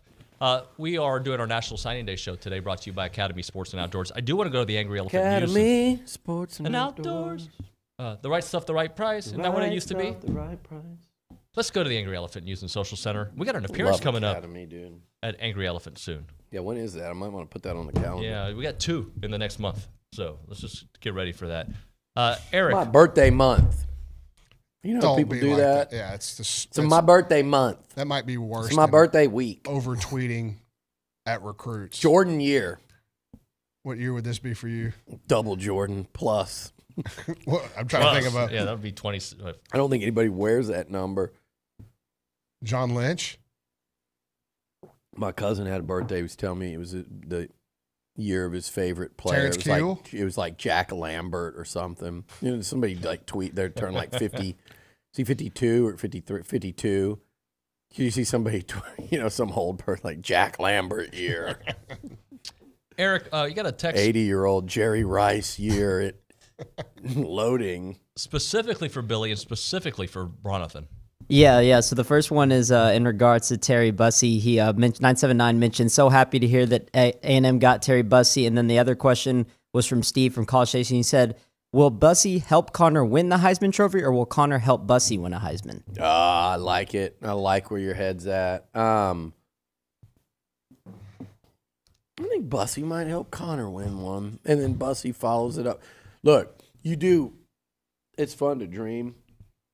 You got to have players to be able to even make those jokes and be like, you, you know, when you make a joke like that, Heisman for your quarterback and your receiver, you, you, it, as you're saying it, you go, it is nice to have really good weapons in the SEC and in college football.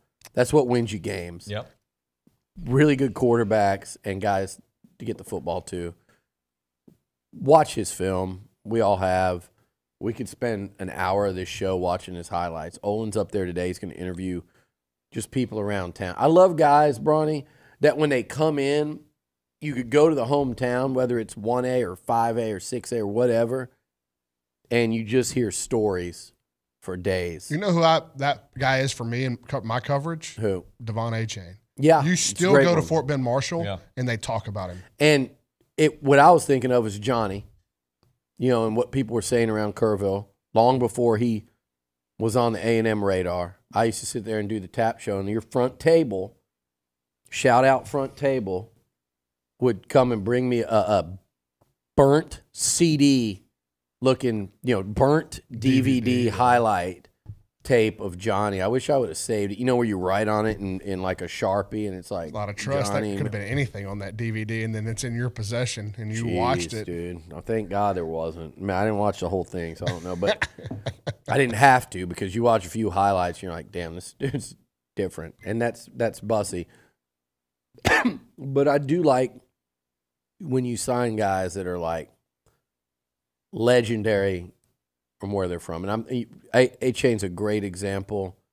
Johnny's a great example. I'm trying to think of you know Myles Garrett was one of those type guys um, at at more of a bigger, you know, up there in Arlington. But people, you could just go ask people. Like for years, they were following Myles Garrett.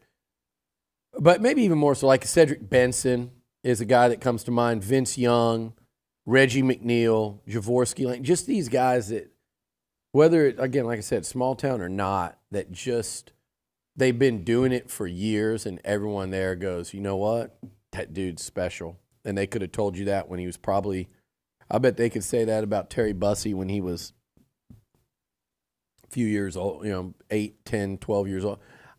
Bronny, I, I remember talking to, uh, so you're wearing the Astros shirt, Correa's hitting coach that came with him from Puerto Rico. Frankie, Not Frankie. the other one. No, Frankie was more like I guess his, right-hand manager. man, Yeah, Uh, his actual hitting coach. And I said, when did you realize that like Carlos could be like all star every year? You know, top one of the top players in Major League Baseball, like special. He goes, I, I said, when did you start coaching him? He said when he was like whatever twelve. And I said, well, how long till you realize that he could be like this level MLB player, like you know, one of the best? He goes, twelve. You know, and that to me is like anybody in Timpson could probably tell you that about Terry Bussey. I'm sure there's a long list of kids that played with him and against him when when they were like eight years old, where that guy was just different than everybody else on the field. Well, and I think that'll translate to A and M, not eventually, but from day one. Let me uh, read this from Pappy. Um, he noticed Billy got a haircut. Pappy or Poppy? Pappy Van Winkle. This is Ar- Arturo, my man, across the street at the MSC. He did a good, Good? job. I think I got in there right before Bryce Foster. Uh, yeah, it's good. I, I didn't get up in time to fix it, um, so I didn't. You know, I'm wearing a hat, but it's, you know, I don't want to get dandruff on my shirt here. But They do good fades there. black shirt. They do. All right. Uh, and my only thing is, I, I didn't I didn't mean for the sideburns to get zomped off, so I feel like my face just feels weird. But those will grow back. You in look a couple younger. Days. You but do the look fade, younger. but the fade, I think he did a great job with it. Okay. And then for Bronny, the nod to Altuve with the uh, Space City shirt. Hey, it, it locked him up, man. He'll Love be an. Astro for the For rest life? of his career. Yeah, for life, for, for sure. But I like that he'll finish his career in Houston. In 2024, any pro athlete that can play their entire career, like For one- doesn't have to be Hall of Fame, can be just like all all pro, all star, whatever it is, whatever league. Any top tier athlete in any sport that plays their whole career in one place, and I'm not. It's not guaranteeing he will, but he probably will. Pretty damn awesome, and especially for Altuve and what he's meant to the city of has Houston. has he sur- real quick off topic? Yes. Has he surpassed Biggio and Bagwell as the greatest Astro of all time. He did that two years ago. Yeah, I agree. I- I don't wouldn't think- disagree. I, I think don't Biggio there's has any the question. longevity. Bagwell had a short dominance. Altuve has been fantastic since pretty much. Yeah, I'm not going to argue with you. Yeah. And and you know he's won two World Series Yep. and and took him to how many four? I do feel bad for was it the '94 season got canceled? The Astros were really good. They and were Bagwell would have been a Montreal and the Expos Astros were good that Yeah. year too. Yeah. Tim Raines and- Felipe was it was uh, Pedro knows Pedro and who else was it? There, that pitching from staff- Montreal. Yeah, they, Yeah, they had what they had Tim Raines, maybe Tim Wallach might have been on that team, and uh, Was that Andre Alou? Dawson? Moises Alou was on that team. Yeah, Alou was on who? The Astros. On the? Expos He was. 94, yeah. What about my boy? Was Delino DeShields on that team? Uh, We're gonna look up the '94 Expos during the break. That would have been before Jose Vidro, right? At second base, All Star. Never even heard of him. All right, I heard of Vidro. He was slick fielding, non-hitting. Was he a second baseman? Yeah, but he, I think he could hit a little bit. Ooh. When we come back, we'll answer the could, question too. about the 94 He Montreal better than- Expos. We have a huge audience in Montreal listening. Hey, guys. And we will also talk a little Robert Borden. Huh? Bonjour. Bonjour. Hey. wow. Hey. Where's Montreal? Was I near Montreal and Detroit? What's across the river there? I think that's Windsor. Windsor, Ontario. It's Ontario. Yeah. Yeah. I don't know. I don't know. Montreal is up by New Hampshire. New Vermont. Yorkish, yeah, like upstate. Isn't Toronto by New York? No, yeah. Toronto's by Buffalo. Buffalo. Yeah. I've been to Toronto. That's why I said New Hampshire, Vermont is closer to Drake in the Montreal. news. Toronto. Oh Yeah. yeah. Go to the right break. Now going to Now. break. Man, now we're going to I just said he's in the news. I haven't read. Drake's Tex always in the news.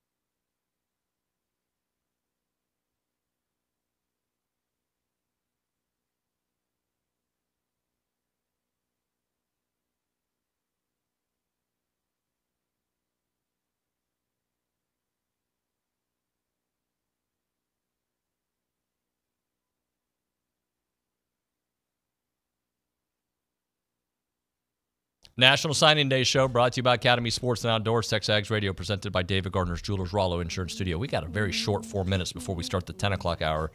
We're going to go through some major talking points here when it comes to this recruiting class, just to uh, satisfy Billy's uh, desire of hearing the starting lineup for the Montreal Expos in 1994. Moises Alou batting leadoff, Sean Berry second, Wil Cordero third, Darrin Fletcher fourth, Cliff Floyd fifth, Marquis Grissom sixth, Mike Lansing seventh. And why they're they only giving me eight guys? Because Pedro Martinez is the next one that they Ni- list. 94 Astros would have beat them now that you say those names out loud. Um, I'm more of an 80s, late 80s Expos guy. Tim Raines, Andre Dawson, Gary Carter, Tim Wallach. Maybe was it maybe Delino DeShields, like a young Delino DeShields? From MLB.com. Light hitting Vidro, is that where you're going? No, no, no. That he didn't start with his career with Montreal until '97. Mhm. But from MLB.com to speak to Bagwell's '94 season before it got cut off, if you took Bagwell's final numbers in 1994 and prorated them over a full 162 game slate, he would have finished with 216 hits, 153 runs, 57 homers, and 171 RBIs. He had 39 that year. Yeah. He Would've would have one of the that would have been seasons ever, yeah. best seasons of all time. Um, the best part about Jeff Bagwell is he and I teamed up to make fun of Seth at a Metallica concert. It just was natural, unprompted. Did y'all talk about each other's goatees? Yeah, I've made fun Yeah, of Seth. we've heard this story a the- thousand times. You know which one we've heard from you a thousand times? Go ahead. Well, Elko said this. Your slosh slosh said this. Schlossnagle. Early. Yeah. And, and no one can't. We've heard those a thousand times too. Now, let me tell you about the story, the best part that you may or may not have heard of. Seth wanted a picture with him. And Anytime he goes real heavy with my impression means I caught him off guard. Listen, Seth wanted, and don't interrupt the story. Just listen to I- it. I've got something to here's the deal. There might be a person out there that hasn't heard I it. haven't and if it's- interrupted anything. And if it's going to make fun of Seth, wait, wait, then wait. let me Wh- do it. Why damn are it. you coming at me? All I did was look at my phone. So Aaron Torres is texting. Seth wanted a picture with Bagwell, and he goes, "Hey, I got to do it. I got to go do it. Will you take it? Like, please. I, I just, I can't. You know." And he's Bagwell's just sitting there. He ain't going anywhere. So I go, "Yeah, I got you." I got you." So he goes. Seth gives me his phone. He walks over there. And Jeff's talking to somebody, so Seth's kind of patiently standing nearby, and then you, I watch him, and I stay thirty feet away, and I see Seth kind of ask, you know, and Bagwell's like, you know, yeah, sure, and they stand up, and I still, I'm talking to somebody else or pretending to, but I'm at the corner of my eye, I'm watching this whole thing, and I don't go over there. Oh so Seth's like standing there like this, and he's like, Billy. Billy, and I'm just ignoring. him. He's like Billy. It is a Like, good story. It was so awkward. It is a good story. It was so awkward and uncomfortable. And if you know Seth, you know he made it 50 times worse. We got about a minute 30, be, or actually about a minute before we got to hit a break. But uh, Aaron Torres listening this morning. Tune in to learn about Terry Bussey. Instead, you guys are talking about University of Hartford legend Jeff Bagwell. We've done a Hartford, lot of. Terry Bussey so far. We're going to do more. A whole hour. Terry they, Bussey. uh, Terry Bussey is the Jeff Bagwell, uh, 94 Jeff Bagwell of East Texas football. Except there was no strike. He's the MVP. There is. He was the MVP. All right, let's do this. We'll hit a break. When we come back, we'll talk Robert Borden. We'll get through the superlatives. God, I have to struggle with that word. Uh, we'll start off recruiting country, the entire show. You're What's gonna with the sleeves today? You know, like It's okay. What's wrong with it? I never make fun of you because of your struggles with the English language because I know it's not your first. Are you working for American Momentum or First National or? You know what? I will. s- I actually have a business meeting after this show, interviewing for a new job. the only Cuban banker in ABC Bryan 13, College Station. sure. I'll go back. Oh, I'll work all those hours. All right. when we come back on TexAgs Radio, we'll get into uh, recruiting country next here on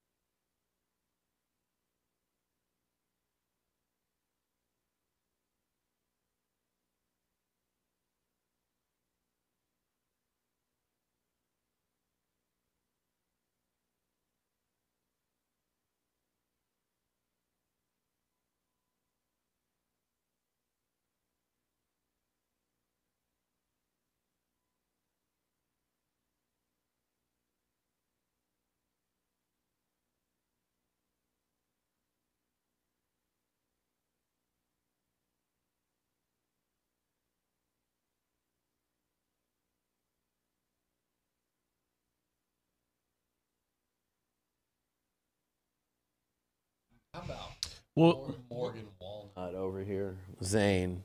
I'm not processing his loan. No, no, he's not getting a loan. TexAgs Radio, presented by David Gardner's Jewelers, Rollo Insurance Studio. It is our National Signing Day special, brought to you by Academy Sports. Dalton's stuck. And Outdoors. He got the other way. He can't get Crawl by. like a Look at him. glypto Dalton. Recruiting Country, presented by Caprock Health System, a faster patient centered revolution in care with two ERs in the BCS, the original 24 hour ER in South College Station on William D. Fitch, and the full service hospital with ER in Bryan on Briarcrest, online at caprockhealthsystem.com. Robert Got- Borden. Before we talk Borden, I didn't do this on purpose, but Zane pointed out Red Solo Cup. I wasn't here yesterday. Toby Keith. Oh, yeah. That one hit. That one. That one hit home to a lot of people. You know, I was getting texts about it in the morning. I was a big Toby Keith. Anybody that's my age, our age, you know, like he was, like maybe should have been a cowboy. Might have come out like late, like in college. 97 So like his music was like at its most popular, kind of started to get hit when we were in college age. Uh, I don't know, maybe high school, maybe high school. Actually, that was high school. But uh, he's you know you go back through his what do they call it in music? It's not Catalog. library, Catalog, catalog, yep. and it is pretty damn iconic. In fact, the fact that you guys played one song, Toby Keith, coming out of the break yesterday, and then went right back to George Strait is a sin. Okay, that's you're getting mad at me. And it might be an unforgivable sin. So today I would ask for the rest of the show. Guys, it's not your fault. No, it is. Who else's fault is it? It's not yours. You just absolved yourself of it. No, it's not For their the fault. rest of the show, can can I get Toby Keith and Bronny? What's your favorite Toby Keith song? I mean, mine for me, it's Should have been a cowboy. should have been a cowboy. Like that It was is. his It best probably one. is. yeah. It probably it's iconic. is. and- I, I'm big in. Uh, That's my dog in my backyard. that is a song that. It's a little more Brooks and Dunn. That, than- that, there's a Ronnie Dunn there. yeah. Well, um, I saw a news report on him last night from a few months back when he was fighting, obviously. Yeah. Um, and they showed a clip of him at some award show where he performed. And he's like, "This is the only way you're going to get me in tight jeans and skinny jeans." And everybody started laughing. He he had fun with it. His last few months, Yeah. he was he was a fighter. So. I saw him there at OU, when OU won the softball national title. He like was wherever the team was and Mhm. sang. Should have been a cowboy with them. And uh, one of my buddies had the ultimate. A lot of people we know. I heard you the other day knew Toby personally. Mhm. A lot of those Houston guys that we know. Um, everybody had great things to say about him. Uh, one of my friends though got a real treat. Went to Cabo one year and just happened to stumble into uh, Cabo Wabo, and then randomly on stage, Toby goes up and does like an impromptu concert, bunch of covers, which he's pretty well known to do. So, anyway, just seemed like a really cool dude and, and a great singer. yeah, absolutely. Let's uh, Robert Borden. Let's talk a little Robert Borden. The 6'6", 292. Yep. Guy can play uh, several places on the line. Bronny, you want to? Babyface, two ninety two, also. Yeah, and and uh, not just an athletic background, but a successful athletic background in lacrosse, which you do not see that cross over very often uh, with Lac- offensive lacrosse linemen. over. The crossover is what they call it, Nuno. Who And- they? When you say they, The people in the industry. what industry are we talking Banking. about? Ours. that was a good comeback. Um, but no, and, and that lacrosse background shows up on tape. It's really light on his feet for being six foot six and 290, 295 pounds.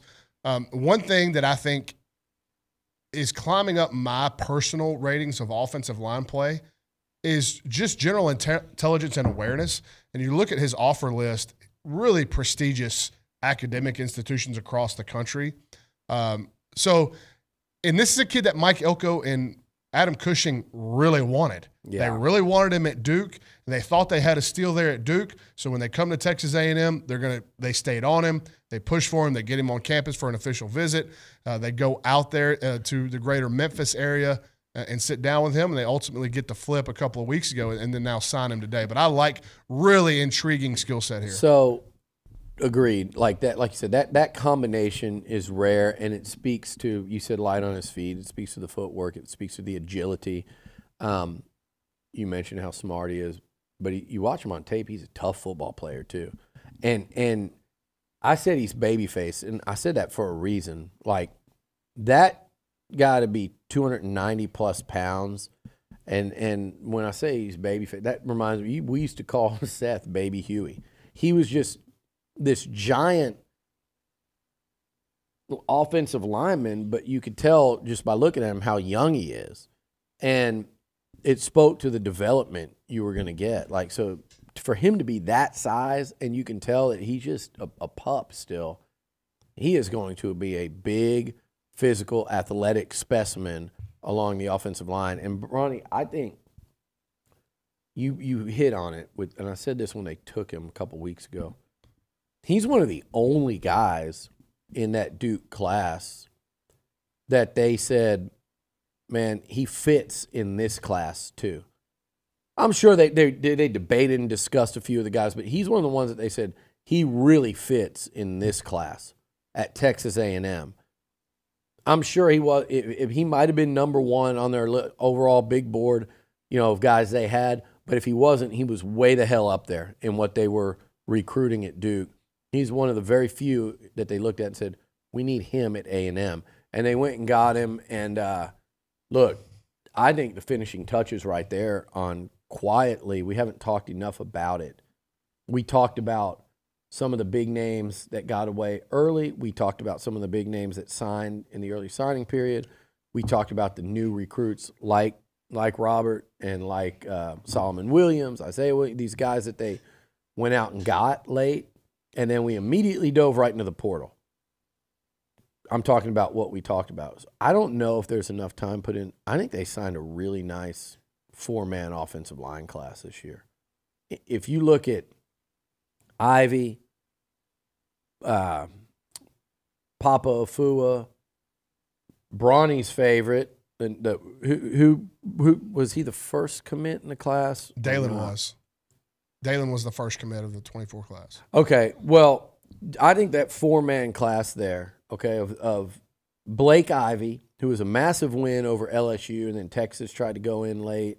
Uh, Ashton Funk, who you guys at one point had ranked as the number one player in the state, and and a real player. And you talk about the intelligence and this and that. He locked in early and never never wavered. LSU, LSU, Michigan, Stanford were the final, and A&M were the final four there. and, and then and Papa Afua, who I, I just I love them going up there in the Pacific Northwest and getting a guy like that. And with that, that's a guy that Jimbo and his staff were, were on for a long time. Um, and then add a guy like this with this kind of athletic versatility. I think it's a strong O line class. Four man haul. Uh, you got to do it. You can't take a year off. And I love that they signed this group, but then they went and got three guys out of the portal.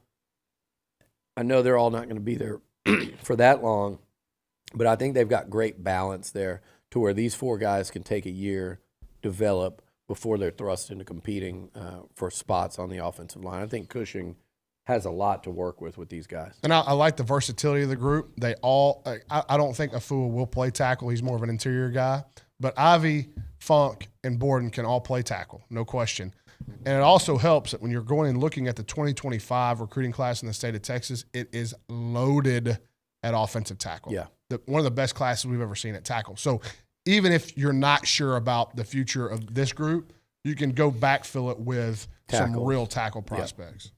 All right, let's get through the superlatives. Best overall player. Whoa, you dove in. That that was yeah, quick transition. Easy, easy. Oh, Let's do that and after. let's talk about Jeff no. Bagwell. No, I mean, Let's talk about the bank. no Whoa. signal, no signal. Just Yeah, got off the highway. I didn't re- almost yeah. past the exit. Cut off just a lot you know of why? cars along we've the way. we've wasted 22 minutes with fun and games and old stories. Who- the people are Stop demanding. reading the textures. I didn't Yeah, actually read. I'm you just. see, he's a, he is a slave to the grind. like you can't you can't get it out of him. This this, this these guys. You know what? him. You may be my boss, but they sign my checks. there your boss is. Yeah. Now I'm They- gonna pull up the list Hey. again.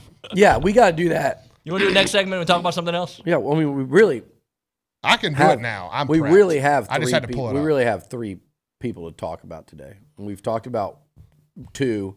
We're going to circle back. Hey, let's to do Bussey. this. Let's finish this segment with Bethel Roman. Okay. Yeah. And if they get him, Nick, do you have that pulled up? Did you?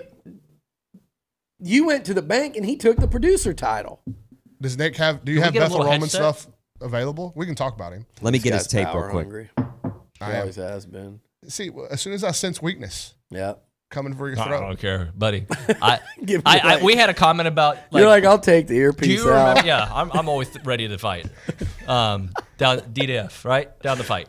So, Dude, that's What? That's some You- A-Leaf stuff. No, right no, there. he's that's the second comment. He's we talked about Drake earlier, acting like he was completely oblivious to why he's in the news. hey, he's a champagne poppy. He sings. anyway, you were talking the other day about if if I said Bronny would probably win in a battle royal, and you're like, I don't know about that. Yeah. I'm starting to second guess. I, I think if I'm it wrong. lasts longer than thirty seconds, I, Oh, have I just no stamina. Anyway, what are we I talking can about here? Knock you out within thirty seconds, and I there, I've got no issue. If you can Ashton me. Bethel Roman. There you go.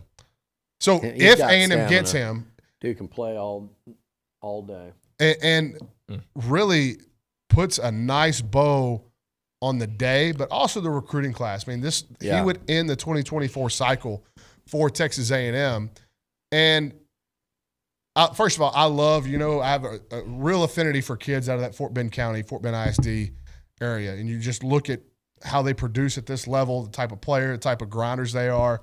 Uh, I just think that the A&M hit rate has is really high. too much in that area too, and, and so it's nice when they get. I, I feel like Texas A&M should kind of own Well, they do. They, my backyard, that Fort Bend County area, and they've done better in, in recent years. But like, you think of some of the guys, you know, the Bralon Addisons, the Kenneth Murrays, some of the guys that have gotten away. Obviously, the Matthews family is Mm-hmm. a massive exception there, but Ainias has been here. Achane been here. Um, but to let you know this one, this they finish this one out and get it across the finish line, which is what we fully expect. It it'll take a little sting off the fact they didn't recruit John Paul Richardson, and Sure. and the reason I say John Paul is I say it for effect, but also this is a guy that is really impressive at the same high school, and like like John Paul, he's got a football playing dad. He grew up around it, and I love NFL legacies. I love players from this this district in this area. And again, like I said with Bussey, this is a guy that can really make things happen when the football's in his hand. When that ball's in his hand, he's uh, uh, he's typically the best guy of the 22 on the field. and verified track times, and he's still a little slight. He's gonna have to put on some weight when he's here. But his dad, Mark Norman, drafted in the 2000 draft, I believe, in the second round by the Baltimore Ravens. Played like a decade in the NFL. His mom was an All-American sprinter at LSU, and then I believe went to the USA Olympic trials as a sprinter. So Wow. when you combine what the tape says with the projectable frame and then the athletic bloodlines, like it's to me, like it's hard for me to imagine this kid not turning into a player when you combine all that. And you you know, there's a reason Ole Miss and Bama tried to move in on him late, and people mm-hmm. around the country started looking around and going, "Okay, who's available?" And they start getting wind of what's going on with him at Arkansas, and then you go watch the tape, and I think a lot of these schools were like, "Yeah, I'd have to look this up.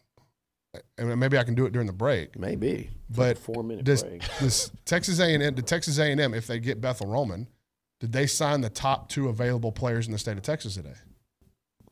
Yeah, you'd have to look that one up. I don't know who That- is available, right. but uh, let's talk. When's our, when are you popping? Uh, we've got two minutes, Okay. 12 seconds. this class is interesting because you go through and we got we got like you break it down almost like three ways. Yep. The commits that Elko and company inherited. So like keeping guys like Dalen Evans, Miles Jones, uh, you know Jernigan was a, was a huge one. Miles Davis. I said Miles Jones again, didn't I? Mhm. Miles Jones is an Elko corner that he brought to Duke with him. Um, Miles Davis, Dalen Evans, Tristan Journey, like the a, a lot of these guys that they held. You've got the guys they held on to that they inherited. Bussey now being one of those. You've got the portal, which is like twenty plus players, and then you've got the guys that they added, Bronny, and the players they added to me are, are an interesting kind of side piece of this class that you're going to evaluate them later on. And Ashton Bethel Roman's one of them. Uh, you got obviously Solomon Williams. You've got uh, let me see who else, Bronny. While you're on your phone, help me out here. Isaiah Williams, Solomon Williams, uh, you're talking about that last Yep. couple of weeks. Yep. Keeping Tristan Jernigan. No, no, I'm talking about who they added. Oh, I thought you were talking about big wins. Bo- for right, Coco. Robert Borden, uh, Isaiah Williams, Solomon Williams, Kendall Jackson. Kendall, Kendall Jackson. Jackson, Yep. um, Ashton Bethel Roman. Who else? That's it. Five, five of them. Mm-hmm. That'll be a very interesting group to watch uh, as we move forward because the, these that was that little group of guys that this staff went in and personally found, added, recruited in that very small window for a, a variety. You know, each one has its own story. You know, Sean Spencer obviously came over and, and Jay Bateman, and they were very familiar with those guys in Florida. Um, you know, Ashton Bethel Roman, we've talked about his really unique recruitment. And then so and then we just got done talking about Robert Borden and his commitment to Duke. So just a little piece of that class that when you combine that with the guys they had to fight and hold on to, Bussey, Dalen, Jernigan in particular, what a big swing in how we feel today versus what it could have been. Nick has confirmed uh, per 247, Ashton Bethel and Terry Bussey are the two highest Okay. uh, through 247 from the state of That were out Texas. there. Yeah.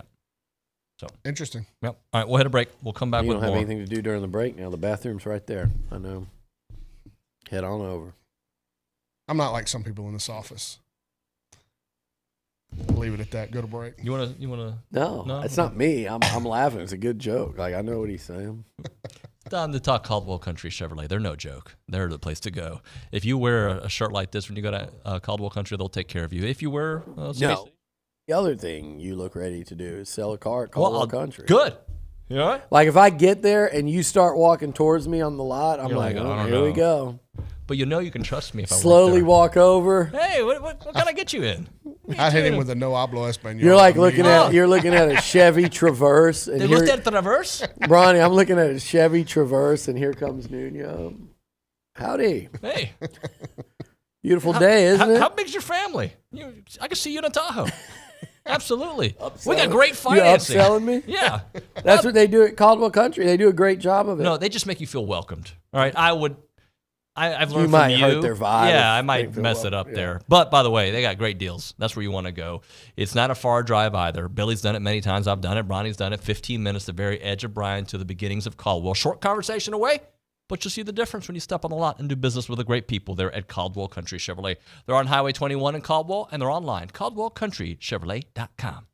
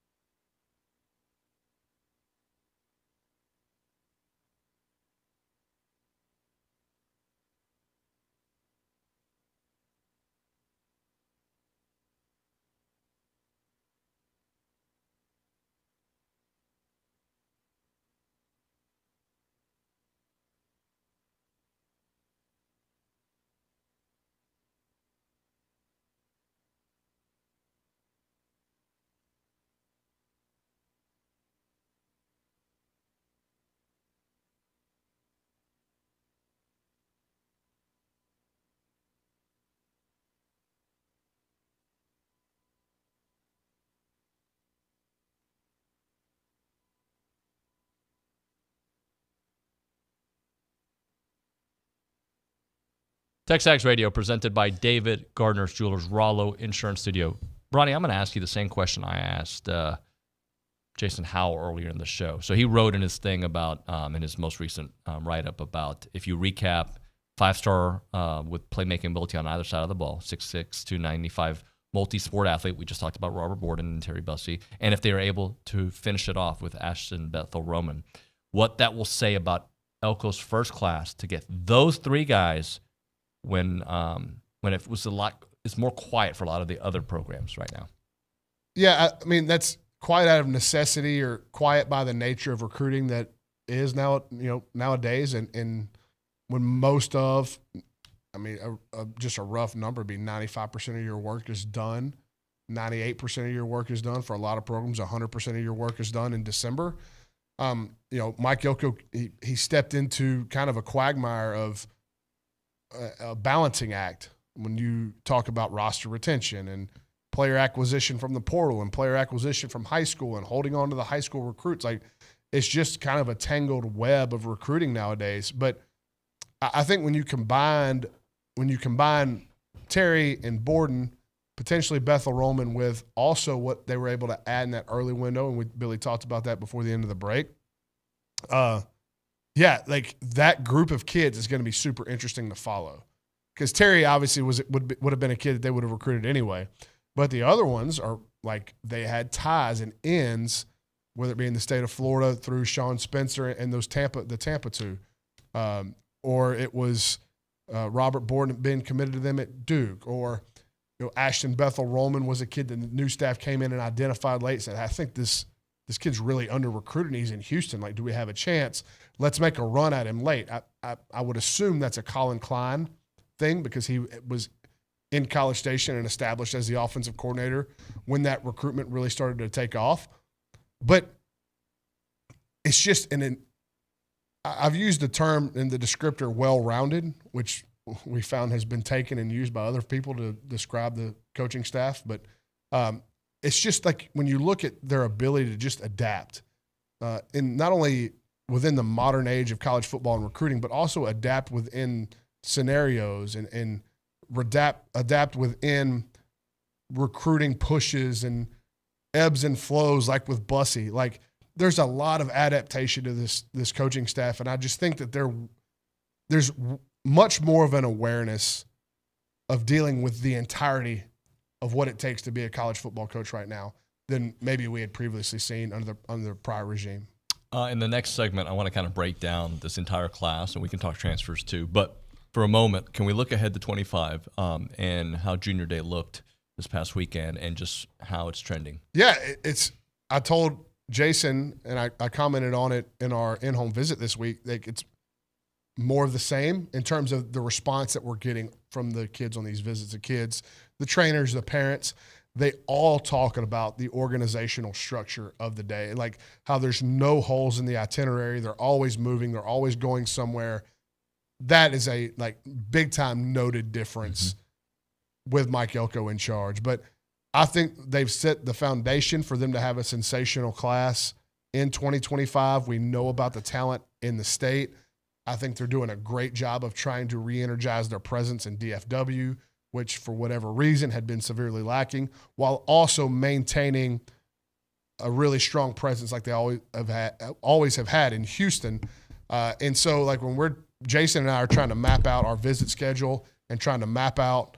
All right, Billy wants attention. Go ahead, tell everybody what you did while we. Ronnie, you understand? I could literally have you ushered out of this studio. Do it. You- all the yeah, I'd love to listen to what you. all the attention I want. Right. I I was off camera.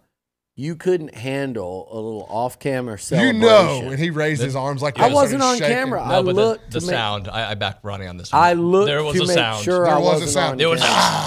I did not Look, do uh, that. yo, you there was do- no play it back, Nick. Play, that, Play it back, Nick. Play that went, back. Maybe it was a delayed Bussey celebration. I've been holding it in. All right. Do you want to tell everybody what you No, were I celebrating? don't. Go ahead. Go ahead. I forgot what we were talking. I'll tell you what. about. I'm ce- Day. you know what I'm celebrating? I was going to get you and Ashley Hmm.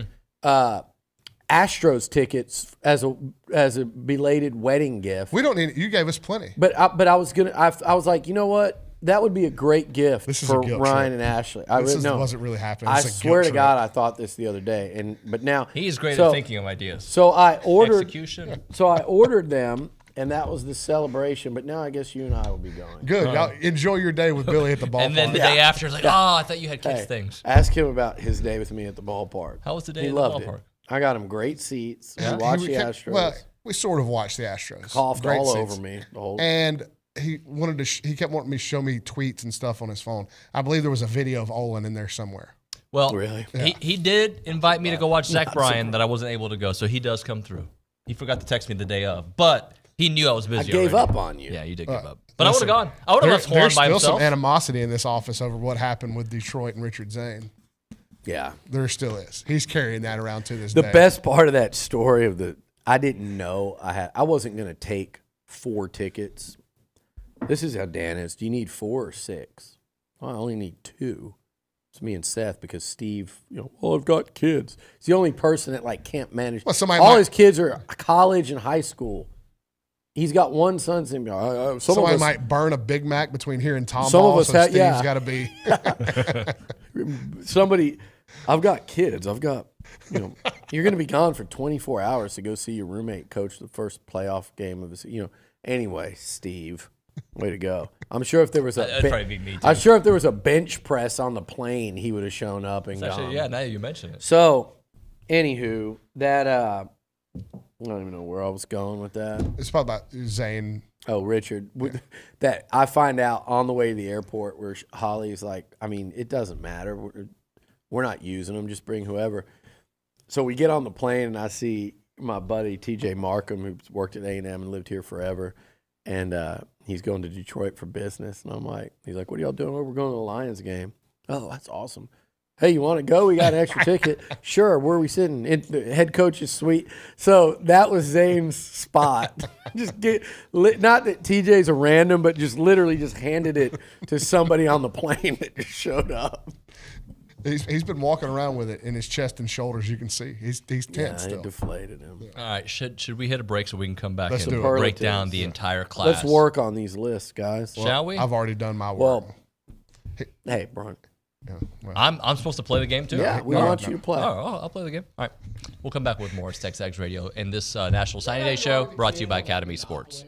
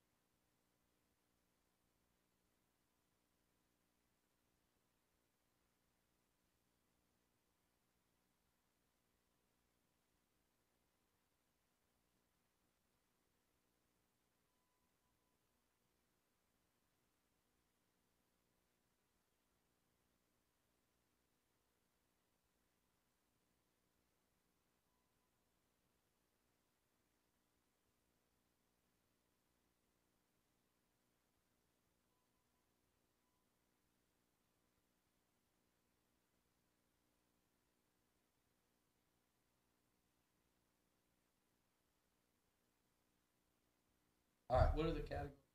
It is TexAgs Radio. We are presented by again? David Gardner's Jewelers here in the Rollo Insurance Studio. It is our National Signing Day show brought to you by Academy Sports and Outdoors. All right, we're going to do the All right, I can't help myself. That celebration was I'd secured floor seats for Creed in November. Get him focused. Come on, we November gotta in get through these- Austin. Hey, November in Austin, the night before uh, New Mexico State. Perfect night for a concert.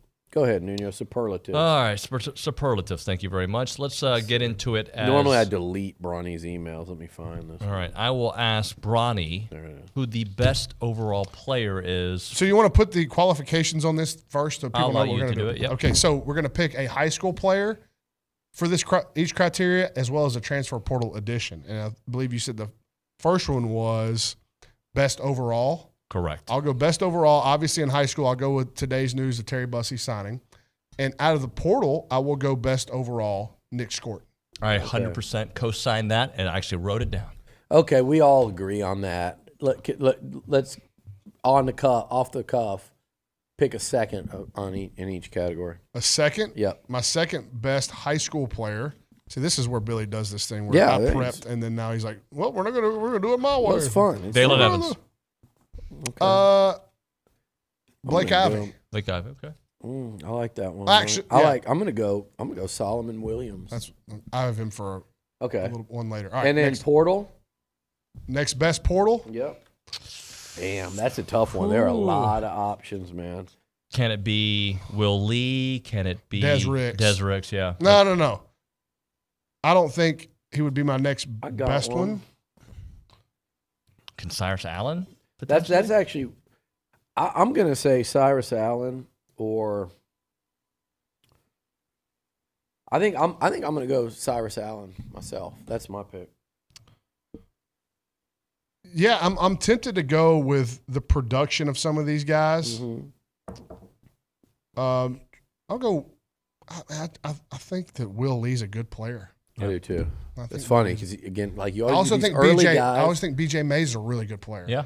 That- but we've got other categories that Instant we can. impact. Look, I'm just going to Go say ahead, Des Ricks to be different because I hope he lives up to his expectations. Des Ricks could be an absolute star, and, and if you, there, I I think Bussey's. Do you think his biggest? y- y- You think he's a receiver? I think early. It's yeah, a better like I, I chance. just think he. I just think. I think if if Terry Bussey starts making plays in practice, catching the football and, and run after catch and things, I think it's going to be hard to pull him. He's just. I think he could really excel. But there's a world where you could see Des Ricks and Terry Bussey. You know, eventually as your two starting corners. Ricks is so young. You literally Mhm. just finished your run. Those. That's two. That's two five star corners that you you know it- maybe in a perfect world those are, those are your two guys. Well, maybe Des Ricks is the next one for me then in the highest upside. What, Be- did we do Oh, we- instant impact? yeah, we did we- I instant was- impact. I was ready No, we didn't. We did impact. best overall.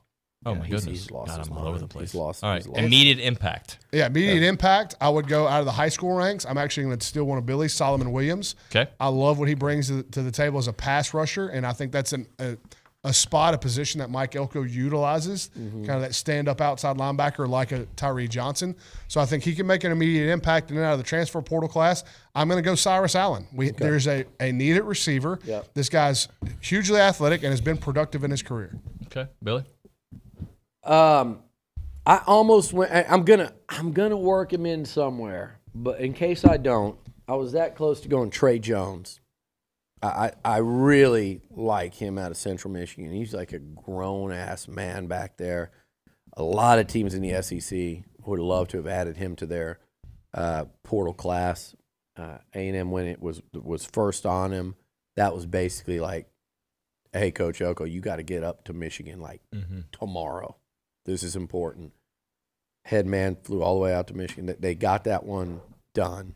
Um, I'm torn between him and uh, the big old lineman from from uh, Kansas, Armaj Reed Adams. because I think he's going to. I think he's going to compete for a starting job day one, uh, eh, but he's got to win it. There's a lot of interior linemen on this roster that have started and can only get a lot better. But those are my two guys there. And then uh, from the high school ranks, I'm gonna go the other way, you talked about Cyrus Allen, uh, and I picked him for my my top guy in the portal. I'm actually going to go Isaiah Williams from that standpoint of just the there is a need at receiver. There's an opportunity there for a young guy to contribute. Small right early returns we've gotten on him have been really good. Yep. Really good. So I had Terry Bussey as immediate because I think he's Yeah. going to start, and then I'm just going to do Will Lee because I think he's a the blanket somebody One- you can feel comfortable starting day in the one. class for sure. Okay. All right, we move on to the next topic, which is highest upside. This is where I'm going to go Des Ricks out of the portal. Yeah. Mm-hmm. Because I just five star out of mm-hmm. high school, really hadn't tapped into it. Out of the high school class is interesting. By the way, when we said instant impact, we all left off Scor- Scourton because we picked him Right, right. I'm trying to Yeah. pick different guys for all these categories. Um, highest upside out of the high school class, I like Tristan Jernigan's upside. When you think about how young he is, like he's going to come in, he could be a class of Mm-hmm. 25 in terms of his age. But I think I'm going to pick Miles O'Neal You took mine. because I don't know if you've been watching some of the video that has been coming out still out of his private Yeah. workouts up there. It's pretty sensational arm talent. And he's gonna and he gets to sit, he doesn't have to come in and play. There's some guys in front of him he can learn from, but man, that, that, that's a big arm. Billy? He took Miles O'Neal. I, I did like that one. Uh, man, in terms of upside, I actually high school level. I actually like Blake Ivy. Mhm. I like that upside. And you mentioned him in another category. I, I really like. I really like Blake Ivy in that regard. Um, and then out of the portal, I think I'm with y'all there. I think it's. I think it's Des Ricks. I mean, I, I think he's. He, you know, look, they signed him for a reason. Um, Alabama signed him for a reason. He was rated where he was for a reason. He would have played at Alabama. He would have competed to start this year. Um, this is, I think he's, uh, you know, he's got he's got an all SEC potential athletically, and uh, you know, Holmon Wiggins knew plenty about him because his receivers were going against him every day, and they wasted no time in trying to get him out of the portal. So I, I think he's up there at the very top, not only in that portal class, but just in general of everybody A&M signed. Isaiah Williams. I think he's he, he's Like certainly that. yeah. Okay. And then from the transfer class, try to be different than you guys have picked Mm-hmm. up there. Let's go with. Uh, can we go Scooby? yeah. I actually like that because, Yeah. like, athletically, Scooby Williams is extremely gifted. There's no question about his raw athletic ability. Can they get it? Can they tunnel Train it a little in, bit better? yeah. Yeah. like if they can, like he is cut of the same cloth athletically as Adrian Cooper. Yep. Most reliable. Is that where we're going? Most reliable, yeah. So to me, Um, that's highest floor. Okay. Like you can bet that this guy's going to I'll tell play. you mine on that one out of the portal. Then we can go on so we don't waste time. I'm pick my classic out of the portal. For me, that's where I put in a Trey Jones. Okay. That's where he goes. I'm me. going to Ricky Wright out of the portal there. Love that one, by the way. Yeah, I love high them floor. taking guys with with versatility in Elko's defense, like can kind of move them closer to the line of screen. Like guys like him and Saunders, the other really big safety that they signed in the portal. I, and out of the high school class, my highest floor is Ashton Funk. I would just bet on that Mm. That's a guy playing one. multiple years in the SEC. That's a really good one. Can I put Blake Ivy there? you can do whatever you want. right. It's your pick. I'm gonna. a I'm, getting a little- Oh, copycatish. Is Yeah. That what oh, you're saying? did you do him? No, he did We've for the each- last we've category. Each used him. Well, I mean, sorry, I hadn't used him. I mean, we're running out of people. You're gonna have a hundred person class, and then might- there's pretty close. I mean, it's like 40 guys. And, But you got to do twenty and about twenty and twenty. Go ahead. So what's the next one? let's go. Oh, you got to pick out of the. Uh, I just Yeah. kind of made him pick somebody else. Yeah, I'd thank you. like to get- Uh, I'm gonna go BJ Mays. I like BJ. Mays. Like I think BJ Mays is going to play, and I don't think pe- enough, enough people are going to talk about it. He may show up in one of my. I later think he's a great chance to start, Yeah. actually. Um, for me, damn, Bronny, I think your pick is really good at, at the high school level. There's another one out there that I think is going to play. Man, I think he's going to play a bunch of football at A and M. If he'll ride I- it out, he probably won't play early, but I think he's going to play a lot of football. I think Another in-state kid. For me, uh, from that standpoint, shoot, I might go. Picked Funk. I might go.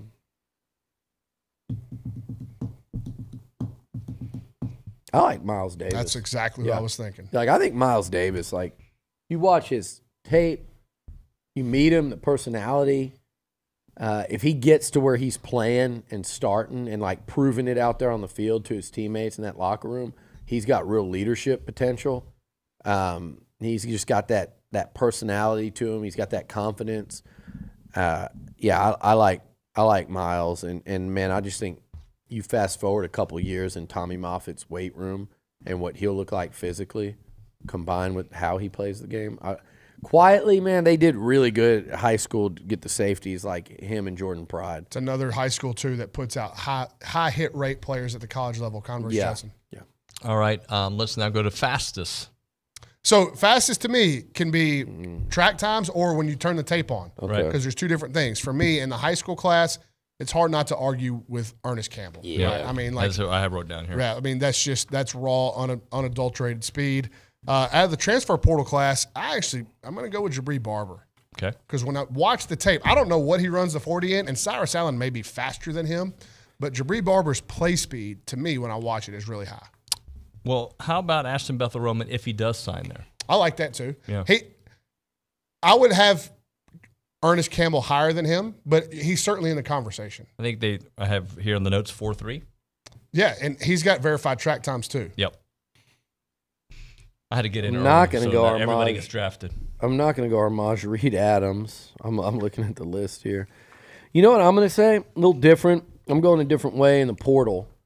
And I'm I'm going to say um, I'm going to go with Cassius Howell. And by that, I know he's not obviously he's not the fastest.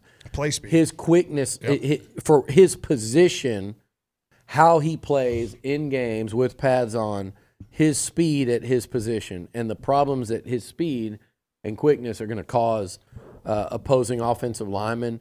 That's where I'm going to call him the quote unquote fastest. And I think rightfully so. We're talking so much about Scourton. This was a massive get. I believe this guy's a disruptor, Mhm. and and guys like they're going to have to get something in the way of Cassius Howell, and you mentioned Solomon Williams, and also you know Malick Sylla, Enai White, who's coming off the ACL. Those guys, uh, I'm forgetting. I'm forgetting somebody. An edge. Uh, Rylan Kennedy. Rylan Kennedy, 15. Yeah. That's five guys, five players there that I think will have a real chance to contribute in that in that category. But yeah, for me it's Cassius Howell and then out of high school, I mean, you both said them. Ernest Campbell and uh, and If they Ashton Bethel Roman. I mean, those those guys can just flat out go. All right, let me do this. Let me hit a break here. Um, we'll come back. We'll finish the last couple of, of these. We'll get into that here. But right now, we're talking QC Kinetics. If you're tired of achy joints and dread the idea of surgery, you need to call QC Kinetics and do that today. The uh, state of healthcare is always changing.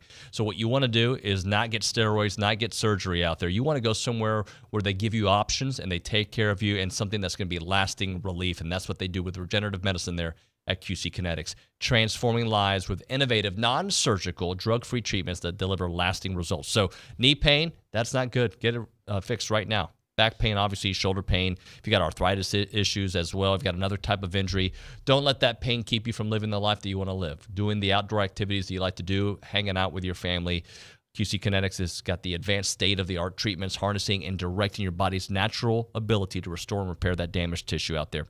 A very revolutionary approach that can get you long term relief with no downtime. Make 2024 uh, the year that you reclaim your mobility, reclaim your independence, walk and run and play and live without the danger of trauma and surgery and without harmful drugs. Call QC Kinetics now for free consultation. All you got to do is call them up at 979 452 6000. QC Kinetics. 979 452 6000. That is 979 452 6000.